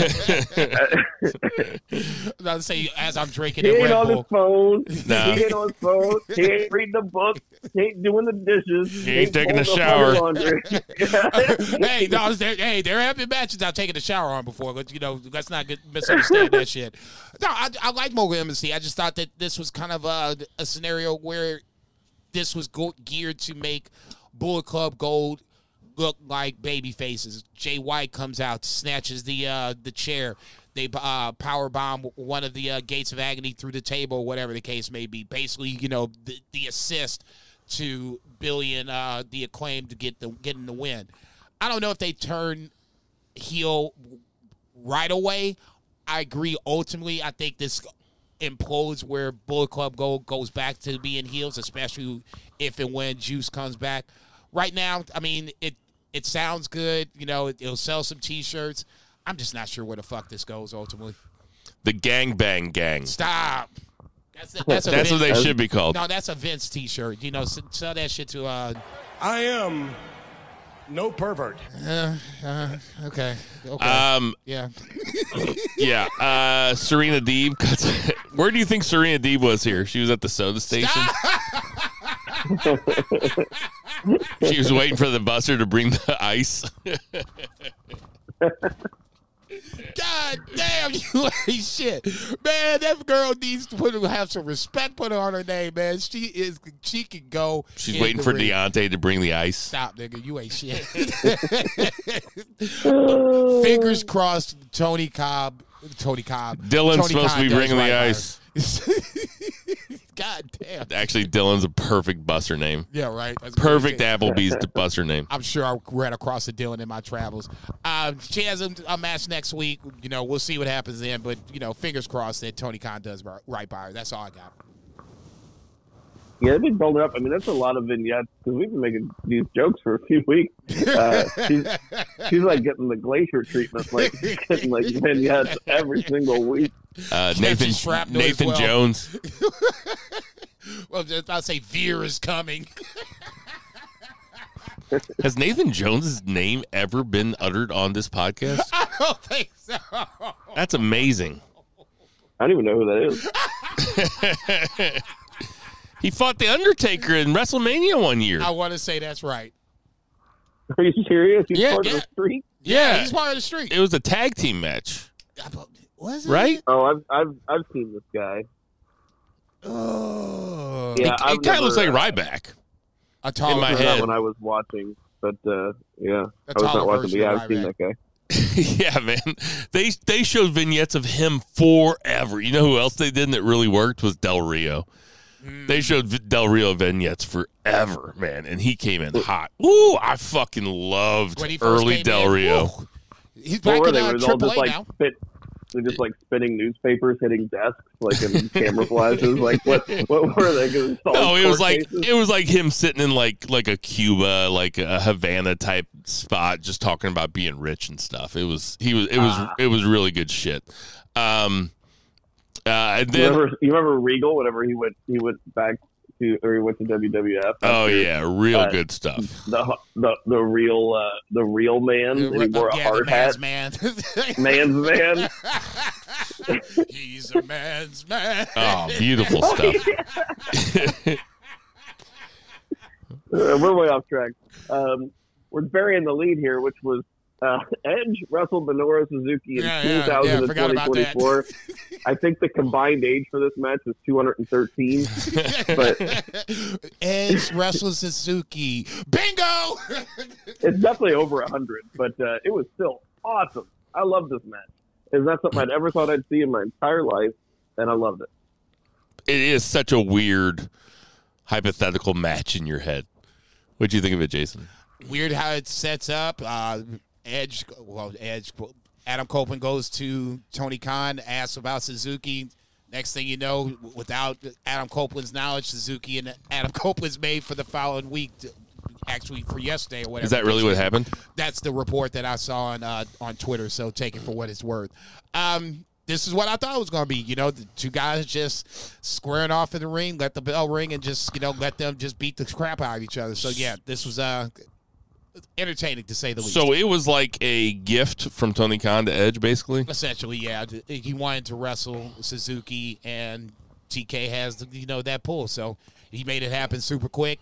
And before he, somebody came to Adam Copeland backstage and was like, you know, Moxley, I think it was the one, if I read, if I remember the report correctly, Moxley comes back to Adam Copeland backstage. It's like, so what you think about the Suzuki match? He's like, what Suzuki match? He's like, oh yeah, I think yeah, you got the match with Suzuki. It's on Dynamite for next week.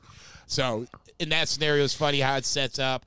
It was just like I thought it was going to be. Um, Suzuki not shaking Copeland's hand post match is perfect.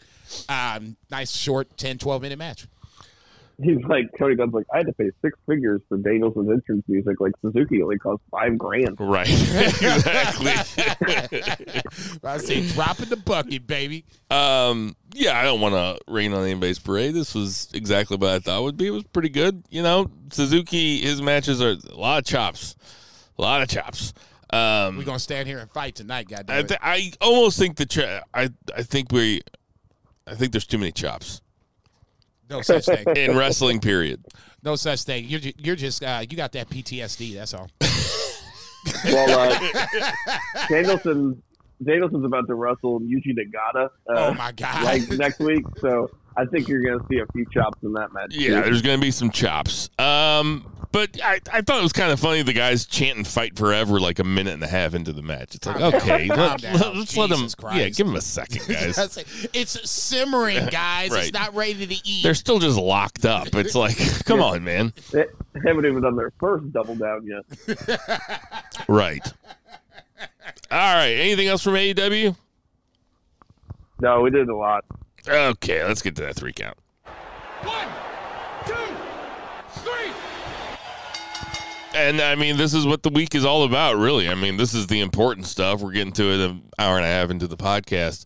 The Royal Rumble is this weekend, and the Royal Rumble is consistently the most fun to watch. Uh, it's probably the one that everybody looks forward to the most. I would say this and WrestleMania are the they're really the two big ones for me. I mean, if I have to skip, if it's those two in SummerSlam, and I can only watch two, I'm watching the Royal Rumble and Mania.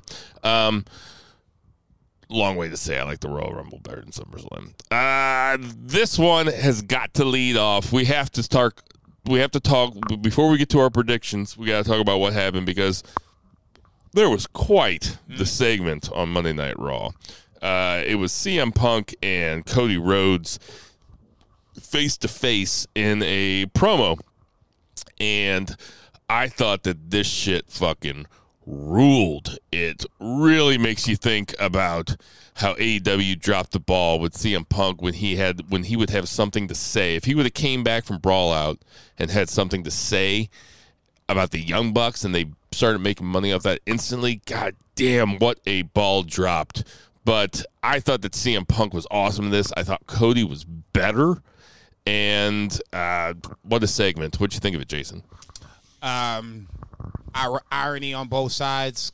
Um, Punk saying I'm better than I'm the better. I'm more- American I'm dream more American dream than you. are.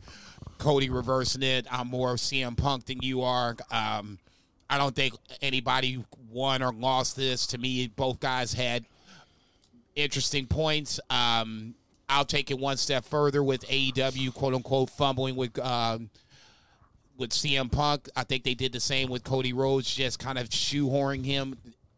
Unless he just really did not want to be the AEW champion, I think it was it has just been hard not to see him at the top of the card in some form or fashion. Tony Khan could, you know, if he really didn't want to do it, Tony could have talked him out of this. See him as a TNT champion is always going to be weird to me, and to never face the champion except for one time, and then the one time he's one, well, one time he had it, he lost and can never go back to have the title again. Always seemed weird to me. Neither here nor there. I thought this was the next week segment. It definitely sets up what's going to happen on Saturday night but for me, I don't think there was a winner per se. It just it was really ironic to see both guys talk about past, present, future in a WWE ring in 2024. Zach, what did you think about the segment? That was an awesome segment. Um, I didn't know, you know, Cody's got that neck tattoo, but I didn't know he had uh, Uno reverse cards on his suit lapel. He just pulled that shit out. and uh, whenever, like, whenever Punk did the whole like "I'm more American Dream," I was like, man, I was like, I've been shitting on Punk like like a lot recently. And I was like, that was a pretty good promo. Mm. And then Cody pulls out the uh, "I'm more CM Punk than you," and I was like, damn. I was like, I was like, these these guys are both just glad that Drew McIntyre is not out there in the segment to make them both uh, look not as good because Drew's been outshining uh, everybody on the mic in WWE. I think uh, recently, but uh, anyway, uh, this is a great segment. Uh, Drew has been awesome. Um, okay, we'll get to Rollins in a second, but because uh, you gave me a segue there, Drew McIntyre fights Damian Priest in the main event. Uh, McIntyre ends up going over. Uh, what you think about the match, Zach? Uh, Zach? Yeah, Truth gets involved. Yeah, I mean, solid, uh, solid uh, Raw main event, and kind of a expected outcome. They are, you know, I really think we all save it for you know predictions, but um, you know, Drew is, uh, you know, Cody's the top star of, of Raw, and you know, Punk is obviously up there, but you know, it's like they have a lot of like real deal star power, and uh, Drew is absolutely in that mix with with Rollins and Cody and Punk, and uh, he's the he's like the fourth pillar of that show. Really, they've been telling a compelling story with him. They've been, you know, he is legitimately wronged. He kind of like like we talked about. He kind of turned babyface on Punk and got the crowd behind him, even though he was nominally a heel out there. He's an interesting character right now. I don't want to call him a tweener. I wouldn't say he's a tweener, but um, yeah, I think people are into him because he's doing a really great job. I think you can, at least for me, I can relate, well, not relate, but uh, I guess empathize with the the story of Drew McIntyre. I thought he he's not get never gotten the credit for being a a champion through the pandemic, and I think that we'll always look back on that, especially as we get further and further away from it. Uh, looking at it on wrestling, there there's champions in the pandemic that don't get their due. Shida, I think, is one. Drew McIntyre, I think, is another. If everything was equal and you had WrestleMania in front of fans and you had Drew McIntyre go over Brock Lesnar, I think the butterfly effect is totally different. So you take that, now you take the fact that Drew's gotten, you know, he feels like he's been wronged in modern times. You got to pissed off Drew McIntyre. So at that point, I can at least understand why he's pissed off. If I, I wish that I was a writer for WWE because I got a great line. Like if CM Punk's in the ring with Drew McIntyre, he'd be like, "Yeah, Drew, you're the champion." During the pandemic and nobody was there to not care about you. I'd be like, oh man, oh, that'd be fucking badass, right? I was thinking about that today while I was driving. You ain't shit. Promos I'd cut on Drew McIntyre. what, Drew, what Drew did to you, man? Damn. Nothing. I love him. I just think, I, yeah, you, you know, love him, all right. that's. I mean, sorry that's, for that shrapnel you got in your arm. That's Drew. how. That's how good the story is. It's got me thinking about it while I'm fucking driving. Um. So. Uh. So. Okay. So the there was some big news that Seth Rollins uh, tore his meniscus, I think, or his L- MCL during the Jinder Mahal match. The Jinder curse strikes again. Um, Seth Rollins uh, comes out, cuts a promo like he's not going to make it to WrestleMania. Gunther's music starts playing. This pops me. Oh yeah. Uh, this uh, it's like, oh, here we go. They have been doing a spectacular job leading up to this Rumble because it is going to be a compelling Rumble with how they book it and who goes over and Final Fours and things like this. Jason, what do you think about Seth Rollins and Gunther? when Seth comes out with the knee brace, my knee jerk reaction is is this the spot where they pull the trigger on Damian Priest. I knew that even though Damian Priest was scheduled against Drew McIntyre, my, my, my mind thinks of other things, and this my knee jerk reaction was is this the chance that they're going to pull the trigger when Gunther's music hits? I had no idea where we are going with this, so I I just took it for the ride that it was. Um, at some point, I, I would assume that these guys are going to cross paths if Seth is healthy. Now, when that is, will Seth be the champion? I don't know about either or. Um, just the segment itself, I was looking for one thing and got something else, and I was pleasantly surprised with what I got. Gunther feels like he's already on that big time stage with Seth, Punk, um, Cody, whoever else, Drew McIntyre. You want to go with those four? I'll throw Gunther in there as a fifth option as well. Him staying across from Seth Rollins made me really realize how big of a star he is and where he's ultimately going to go. And a year from now, he'll be in the world title picture and he won't come out of it. Remember a few years ago, whenever we were so down on WWE because it legitimately sucked. It was some of the worst wrestling I've ever seen in my entire life. I've spent a long time watching wrestling, and I've seen some really bad wrestling, and that was bad.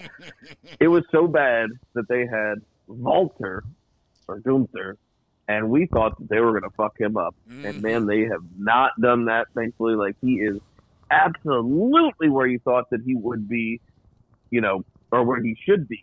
And uh, man, they've done a really great job with him, and I'm glad that they're thrusting him into this main event scene. And he seems like he is absolutely perfectly comfortable in it. Yeah, comfortable with it, made for it. Prediction right now: Gunther wins the Royal Rumble. Rock wins the title in Elimination Chamber. Rock Gunther WrestleMania. Book it. This Holy shit! this motherfucker here. Fight forever. I say, uh, yeah, I'm not coming into work today. I think that there is a close to zero percent chance that Gunther wins the Royal Rumble. Um, I really want to see Gunther whoop ass in the Royal Rumble. I think we want to see it. Oh, he's gonna whoop some fucking ass. Uh, too bad Brock Lesnar's not gonna be there because that was gonna be a big fucking moment with uh, Gunther standing next to Brock Lesnar. Um, and you can almost guarantee that they were gonna do it. There is nobody that I can think of that I'd rather see Gunther stand face to face with than Brock Lesnar. Actually. I mean, ultimately, we've gotten to that point where Gunther has been ascended to where now you you can't look at him. He's beating like the Bronson Reed, so he's beating the big guys. He's beating the Chad Gables and everybody in between. So now you're you're looking at okay. So now it's like Cody's. CM Punk's, Drew McIntyre beat him in a triple threat. So I mean, you know, we're getting to the point where now we're running out of people for Gunther to face. Brock Lesnar is ultimately the final boss when it comes to WWE. If you beat Brock, you're fucking over. That was the and I'm I'm holding out hope nice. that they even put in. They still go with Brock Lesnar anyway. No, I doubt it. Uh, look, I doubt it. I doubt it. But I, I mean, think, damn. I think I think the Wall Street Journal is the final boss for WWE. yeah. yeah. yeah.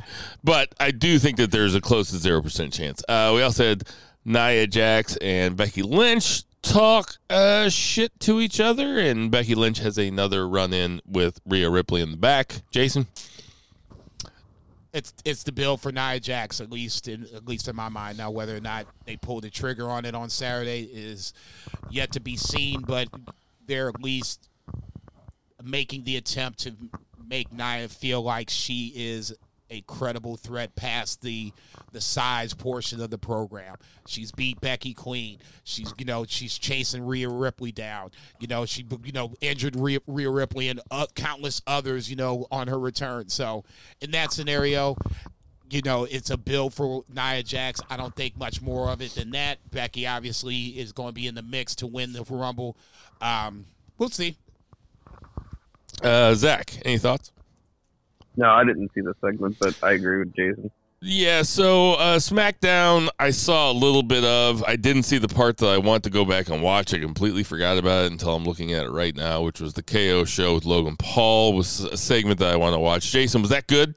Um, yeah, just because you got two of the best talkers in the, in uh, the business. That's high praise. Yeah, it's, I think Logan Paul is just is a classic, ready-made heel. He came off as such here. Um, got KO to take off the cast and then attacked him, po- uh, you know, after the fact. So I mean, it's it's sad that I shouldn't say sad, but I was mad to see KO fall into that uh, banana in the tailpipe trick, but ultimately it builds for, for their uh, their Royal Rumble match. I think this is going to be one of the better matches of the night. Logan Paul just feels like a, natural heel. People want to boo him. He, he it came off very well in that segment. Zach, did you see this segment? Vince very into bananas and tailpipes, by the way. Um, just big I bananas. am no pervert. Uh, but uh, no, I, I agree with Jason. I think that Logan Paul's probably the most naturally gifted dude to do this since like Kurt Angle. Like if he wanted to be a full timer, he could be like maybe like because like we'd be talking about him as not just like this fantastic celebrity um, wrestler. Like he could be just a really great professional wrestler for a living, but he's got so much other shit going on. Yeah, Kurt Angle uh, is the one that people talk about being the uh, the most fish to water uh, guy from outside ever. Um, long career. This guy's favorite of all time. That's gonna do it for our three count. One, two, Kurt Angle, no joke. God, I was so pissed when he beat The Rock.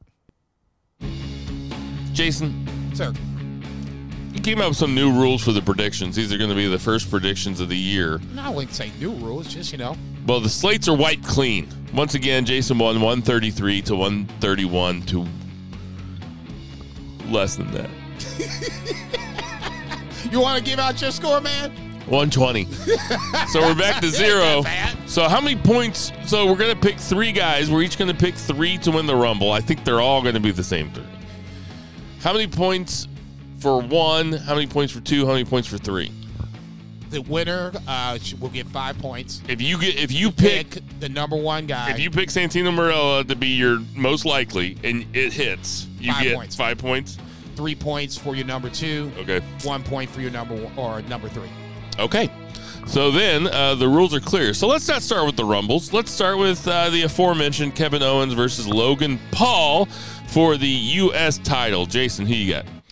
Um, it's going to be hard for me to, to not pick Logan Paul at this point. Um, I think it's like I said, this has the potential to, to kind of steal the show a little bit. Obviously, the Rumbles will be the main focus, but uh, this has all the potential in the world to be one of the uh, the show stealing matches, the highlight matches, whatever you want to call it. KO is going to bring it. Logan Paul has, has been on this spotlight in this shine on a couple of different occasions, and every time you see him, it's a big time stage. This is another big time stage. I got Logan Paul to retain. Zach, who do you got? Same. Too early to take that off Logan Paul. They're giving a good story out too to KO. He's going in injured.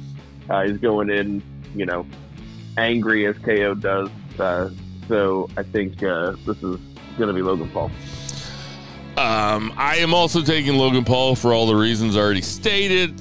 Uh, they want him holding that title at WrestleMania. So I think, I don't know who's going to wrestle at WrestleMania. I think they might make it like a three way or a four way just to get as many guys in the ring with Logan Paul as possible. LA Knight feels like the LA guy. Knight is definitely a front runner. Uh, up next, let's do the women's Royal, Royal Rumble. Uh, Zach, give me your least to most. Give me three names. Least to most. Okay, so least, I'm going to go with a big old outlier, and I'm gonna say Sasha Banks Oh man. I still think that she's not gonna show up, but that's like, you know, it's open. You know, that would be a huge, huge, huge thing to do. Um, thrust her right into the main event picture. Come back Uh, home, then I'm gonna- Yeah, yeah. The thing is, that's one of those things, though. If she enters, we know she's winning, right? No. I wouldn't say no, but I would be. I, I feel like she would enter at number thirty and win. If it was me booking it, if she was coming back, that's what I would have her do. I'd have it be number thirty and she'd win. All right, so you have Sasha Banks in the three slot, Sasha, like a coward. and then uh, I'm gonna go with uh, with Becky uh, after that, and uh, my number one is gonna be Bayley. I think Bayley's been putting in work. She's never really won a uh, a Rumble, and she's like you know one of those just tried and true WWE. Like she's a she's a main eventer, and this would get her in that area. Uh, yeah, and maybe she eliminates like one of the Damage CTRL to win it, and then that causes like you know problems. All right, so uh, right off the bat, me and Zach have some different picks. So I have Bayley in the three slot, I have Bianca Belair in the two slot, and I have Becky Lynch as being the most likely. I have Becky Lynch challenging Rhea Ripley because either way, that's going to be the WrestleMania match. It's just how they get there. Jason. Um, didn't know that Bayley never had it. Uh, I'm still not 100% sure that this is the case, but if I read this right, Bayley's not had a singles match at WrestleMania. That seems a little weird to me. Uh, I'd have to really go back and look at that, but neither here nor there. I'll- Probably just blown ACLs every single time, you know. Uh, she, she was hurt a lot. You know? Yeah, and that's that's the I'm only just reason like- I can think. Yeah, and I was like, you know, when I read this, it's like, does this happen? But neither here nor there. I love the Bayley pick. Is ultimately where I'm going with this. Um, least to most, I'm gonna go. I've been batting this around in my head, but I'm gonna stick with my guns. I'm gonna go Becky Lynch as least likely. I think she'll be one of the last four in, but I don't necessarily think that she will win it per se. Two, I got Nia Jax. I, I think they're you're pushing her to be pushed. I'm just not convinced that she ultimately wins it. To me, the safest bet of the bunch. It's on Bill's list. It's already made kind of a backstory uh, match to begin with. I'm going with Bianca Belair as I'm most likely to win the Women's Royal Rumble. That is incredible that the three of us. Wow. So there's a lot of intrigue. There's a lot of potential winners um, out of that because none of us three have the same picks. So we're going to be off to a hot start. Speaking of hot You, uh, starts, you guys think, real quick, sorry, you guys think Jade shows up? yes, I think that Jade Cargill shows up. Uh, any other surprises you're I, expecting? was saying, I do want to talk about the surprises, and that's part of it. I think Jade and Trinity or Naomi are definitely showing up. Yeah, I was going to say Naomi to me is the slam dunk of the bunch. Uh, she just dropped the uh, Impact Knockouts title to Jordynne Grace. Tonight was the rematch. I would assume she loses that too. Any chance she wins the Rumble? Uh, I don't think there's I don't think there's a chance that she wins it. I think that she comes out and does what Naomi does in a Rumble. You know, has a couple of big Glow? spots. Uh, yeah, hopefully she does glow, and but hopefully she does come back and you know throw a couple women out. Whatever, however this happens, whoever she throws out will be like her first feud coming back to WWE. Jade is an interesting call. I would love to see it. For me, I mean, if she's not ready, if you're not going to have her wrestle from that point on, don't bring her out. Uh, any NXT uh, gals you can see in this? Roxanne, Yes, I Uh, can see that. Yeah. I think it. This is Uh, kind of Lyra a- Valkyria. No, uh, th- they have a match coming up for the women's title. I would assume Valkyria w- would retain. At that point, Roxanne has what else to do on. But that's the NXT. next night. Is that that's Sunday night? Shit. Is that Sunday night? Don't No, know. that's- no, or it's the following week. It's the following week. Okay. Oh. Um, I could see Roxanne and Lyra Valkyria uh, both in the match and kind of like eliminating each other or something, so they could like put a little shine on that title match. Blair Davenport is a wild card. It, she kind of feels like she's bet she another that uh, ass Will Or, Ospreay. uh, um, Or Tiffany, I think Tiffany Stratton would be good. Yeah. Would be good. Yeah, that would make sense. off, uh, NXT She could actually little bit. eliminate. She could eliminate Becky. That'd be pretty fun. That would be. Um, so we have the fatal four way for the WWE Heavyweight title. Uh, Roman Reigns versus LA Knight versus Randy Orton versus AJ Styles. I'm going to do this, but I don't know why we're even going through this, but uh, I'm going to go from least to most. So I'll put, I guess, uh, LA Knight as the least. AJ Styles, uh, Randy Orton, and Roman Reigns, I guess. Uh, Roman Reigns, my Stone Cold Lead Pipe Lock of the Week. Uh, Jason, who you got? exactly the same, exactly the same by block of the week. It's uh, if there was anybody that would beat Roman at this point, it would probably be Randy. Outside of that, we just got guys that are going to uh, make this a really interesting match. Um, there should be. I want to watch it. yeah, there's there's going to be a spin-off feud coming out of this. It feels like AJ and LA Knight will be that spin-off feud. Maybe Randy Orton and uh, uh, Roman wrestle singles in um, Australia for Elimination Chamber. Rock They said still in- Roman's not going. Okay, well then even better. They yeah, Roman definitely retains. It's definitely the lock of the week, and then you know Roman takes a vacation until uh, WrestleMania time. Uh, Zach, who you got? Who knows? Maybe this one's like the 2020 election where you're just like, ah, like there's no way you idiots are gonna pick this guy, and then they end up doing it. Like, uh, but He The, uh, fucking won. Yeah, 2016 election rather. I'm sorry, uh, uh, but uh, it's been so long. Uh, the you got AJ Styles, LA Knight, Randy Orton, Roman Reigns, right? LA Knight as least. Uh, oh, okay. I'll put Styles least, Yeah, I mean, and then that's my Stone Cold Lead Pipe lock of the week as well. okay. All right. So now we got the men's rumble. So uh, before we go into our winners, uh, let's talk about some surprises. Do we see? I've called for a, many weeks now. We're going to see Bron Breakker. Do we see Carmelo Hayes? Yes.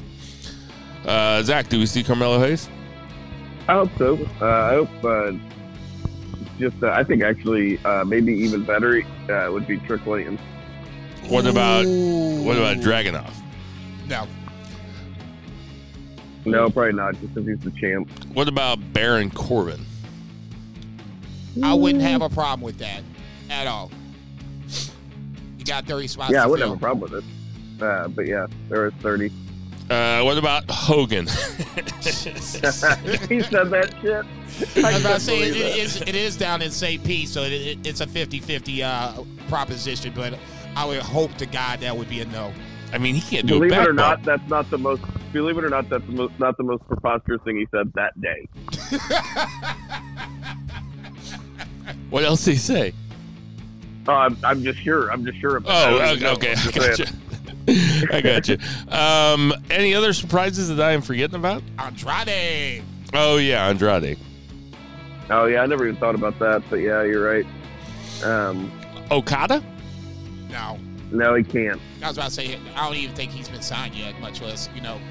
You're not gonna rush him into the uh, the Rumble and then send him back to NXT. That's crazy. Dude, I tell you what though, I wonder what the They're talking about would be Okada if a going to NXT. What the fuck are you talking? No, they're not doing that. There's no way they're doing that. Look, Shinsuke went to NXT.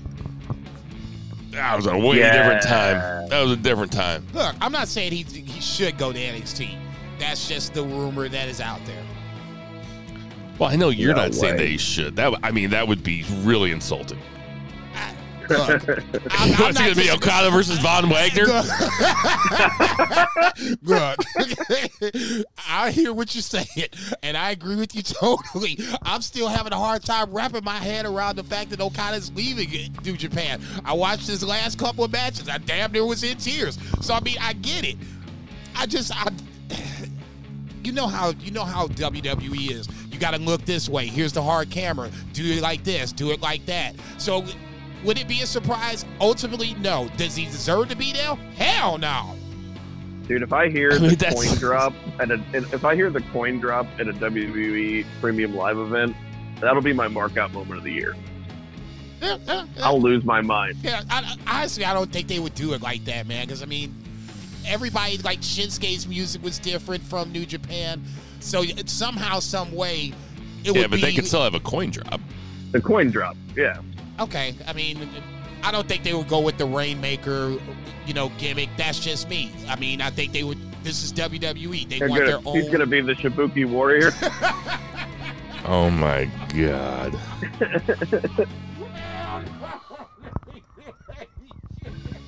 They're just gonna call them nunchucks. Man, no.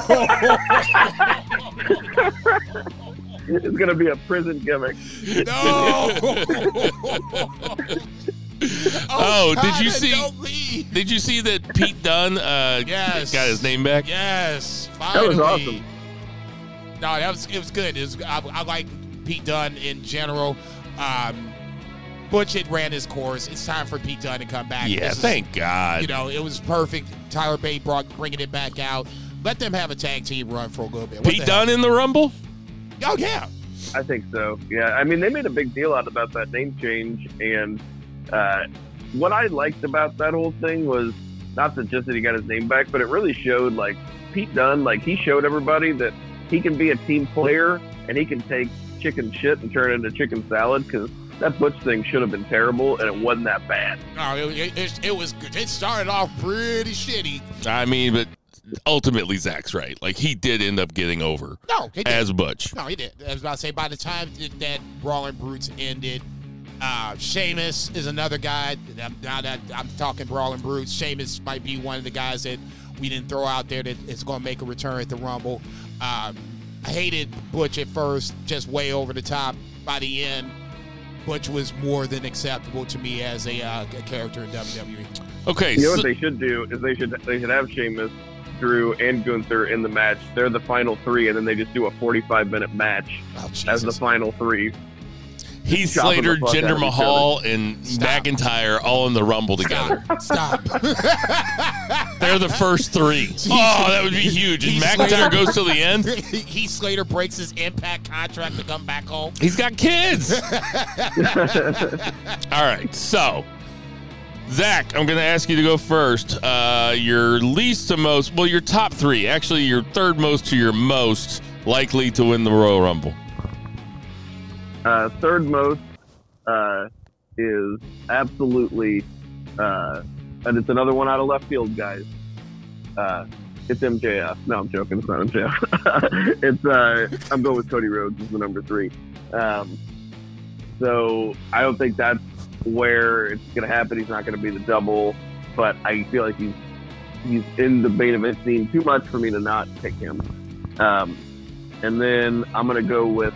Uh, CM Punk as number two, at least you know maybe most likely. Um, that feels like it should be my number one, but I'm doing something that Phil is going to be unfathomable. He's not going to believe that I'm doing this, but uh, I'm I'm going long. It's, it's, I'm throwing a hail mary here. I think Gunther is going to win this motherfucker because they always surprise us. They always surprise us. I would absolutely go nuts if Gunther wins this. Uh, Jason. That's kind of I'm I'm trying to manifest it kind of. That's that's funny that you said those three names because those are the names I was going to say, just not in said order. So we're going least to most. I'm gonna put Gunther at number three. Um, I'm just I'm not convinced totally he'll win. It wouldn't surprise me if he did. Obviously, he went over an hour the last year. Was the last to get thrown out before Cody Rhodes won. So I think he'll be there at the end. Drew McIntyre would probably be my fourth guy. If you wanted to say a final four, I'll go Drew Gunther as two of the four. Uh, second most likely, I'm hedging my bets on this because I've been baiting the drum for a long, long time, but now it feels like that drum is getting worn out. I'm going Cody Rhodes as number two.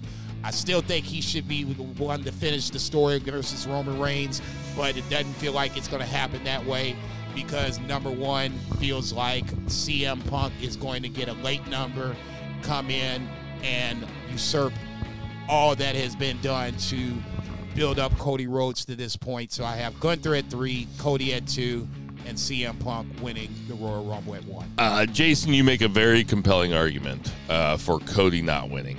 Um, but I already wrote it down, and I'm going to stay honorable here. I'm taking McIntyre as my third uh, likely. I'm taking Punk as number two, and I am taking Cody as number one. Um, I just can't see them giving Punk the win right off the bat. Royal Rumble. It's just, I just, I, look, I don't know. I just can't see it. I hope I'm wrong. I hope I'm. I think you can still get Seth and Punk if that's the if that's the match they want to do without Punk winning the Rumble. Elimination Chambers around the corner. I could also see them fucking Cody because you have been in my head for the last two or three weeks saying that Cody's not going to be there. Cody's not going to be there. Me? Yeah.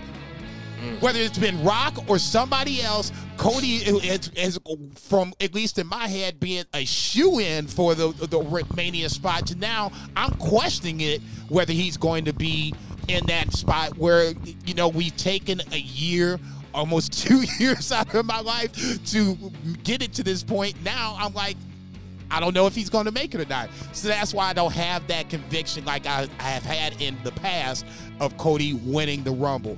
The Elimination Chamber still is in play if Cody doesn't win the Rumble. So, I mean, both guys have options. It's just which trigger do you want to pull first? Am I am I crazy, Three Beer? Am, am I just thinking about this too much?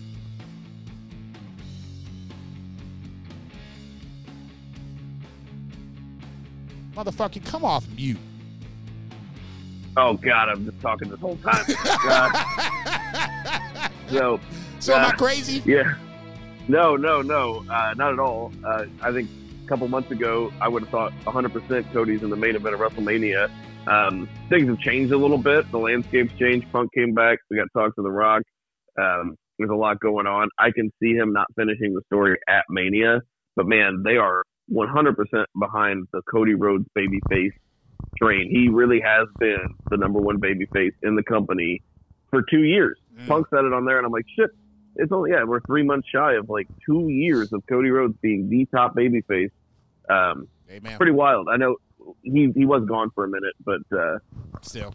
because of that t- torn pec. But um, but yeah, I actually I don't think he's gonna be in a title match at Mania. Uh, That's crazy. but but I don't think that he shouldn't be. I'm just saying I don't think that he will be.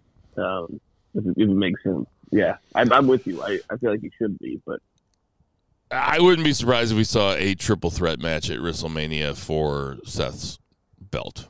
Wouldn't be surprised. yeah, I just can't see Where- Gunther winning Roman- it while he's got the Intercontinental. I just can't see it. Roman's gonna be uh, Roman's gonna be fucking uh, like at the press conference after Mania, and he's gonna be like super sweaty with seven belts in front of him, and he's just gonna be like, "We're in the fifth inning." Gunther can win. Gunther can win the Rumble. hey guys, the it's the IC top of the fourth. We got plenty left. Say, God damn. we got more stories to tell. Jesus Christ. Um, okay, so those were our 2024 Royal Rumble predictions. Banned from ringside. Look at you. You motherfucker. Had to go back in the archives to, Right. to grab that drop, to grab the outro drop. I was going to say, what was that, 2017? Jesus. Uh, where are you watching the Rumble? Uh, nigga, you know, I, I got to be at work. So, I mean, I'm just, I'm, I'm going to just go on radio silence right at 6 o'clock Central Standard Time. Don't look at the phone. Watching it when you get back. Yeah, immediately. And it's could just come right back and just turn it Uh, on. Zach, how you watching the Rumble? Uh, I'm actually going to the Kraken game tomorrow night, and so I'll be up in Seattle. So I hope I don't have to watch any on the road, but uh, I might have to watch it from uh, the passenger seat on my cell phone for a little while. But other than that, I'll be uh, drinking non-alcoholic beer in my basement. Yeah, I uh I am playing trivia Saturday night, so I too have to go on radio silence. I'm going to come back here immediately after, and even if my brother-in-law and sister come over, the Rumble's turning on. So I got to make sure there's no spoilers. No spoilers. Hey that. guys, give everybody 24 hours or something, or at least till the next morning, huh? no, that's. I'm just saying to the I'm- people. no, I'm I'm I'm a firm believer that spoilers is on the individual person. If you decide you want to look at Facebook just for 30 seconds, Yeah, text messages. okay, well, our group is good with that. I'm, we don't I'm spoil. saying in general. We don't spoil. Okay, we're good with that. Uh, other text threads good with that. We don't spoil. No, we don't spoil. What, when was the last time we spoiled anything? I don't remember. Okay, there you go. I don't know. Bill Bill told me there was no Santa Claus last year. That was a fucking lie, man. Take a look at my credit card bill, right? Oh shit. Uh, Banned from ringside. hey, everybody, we got some birthdays this week. I'm going to have to do the math on the fly, so bear with me. Honky Tonk Man is 71. Michelle McCool, 40. I 40. bet Gunther's going to beat that record too. Michelle McCool is 44. Jay Briscoe would have been 40. R.I.P. Road Warrior Hawk, 67. R.I.P. Yep. Uh, Evil, 37. Uh, Sasha Banks is 32. Sheamus is 46. Sonata is 36. Hardcore Holly is uh, 61. Giant Gonzalez is 58. Becky Lynch is 37. Speaking of the streak, Drake Maverick, aka Rockstar Spud, is Oh. 41. he worked with with, uh, in NXT. Son of a bitch. Yeah, I like him. He won his job back. Hey, everybody, we know there's tons of podcasts to listen to, so we appreciate you guys listening to our podcast. For my whole family in there, for Tender Mahal, for Murray the Murray Man, Murray, for. Lucha Chris, for Patriot Pat, for. Brett Jagger, for And when we lose our control, we're banned from Vice, for Two Beer Zach Bowman, for Jason Cornelius Bell. I am Bill. Veggie. Black Lives Matter. Support your local restaurants. Support your local weed dealers. Call your parents and never ever forget to boo the heels. Boo, bitch.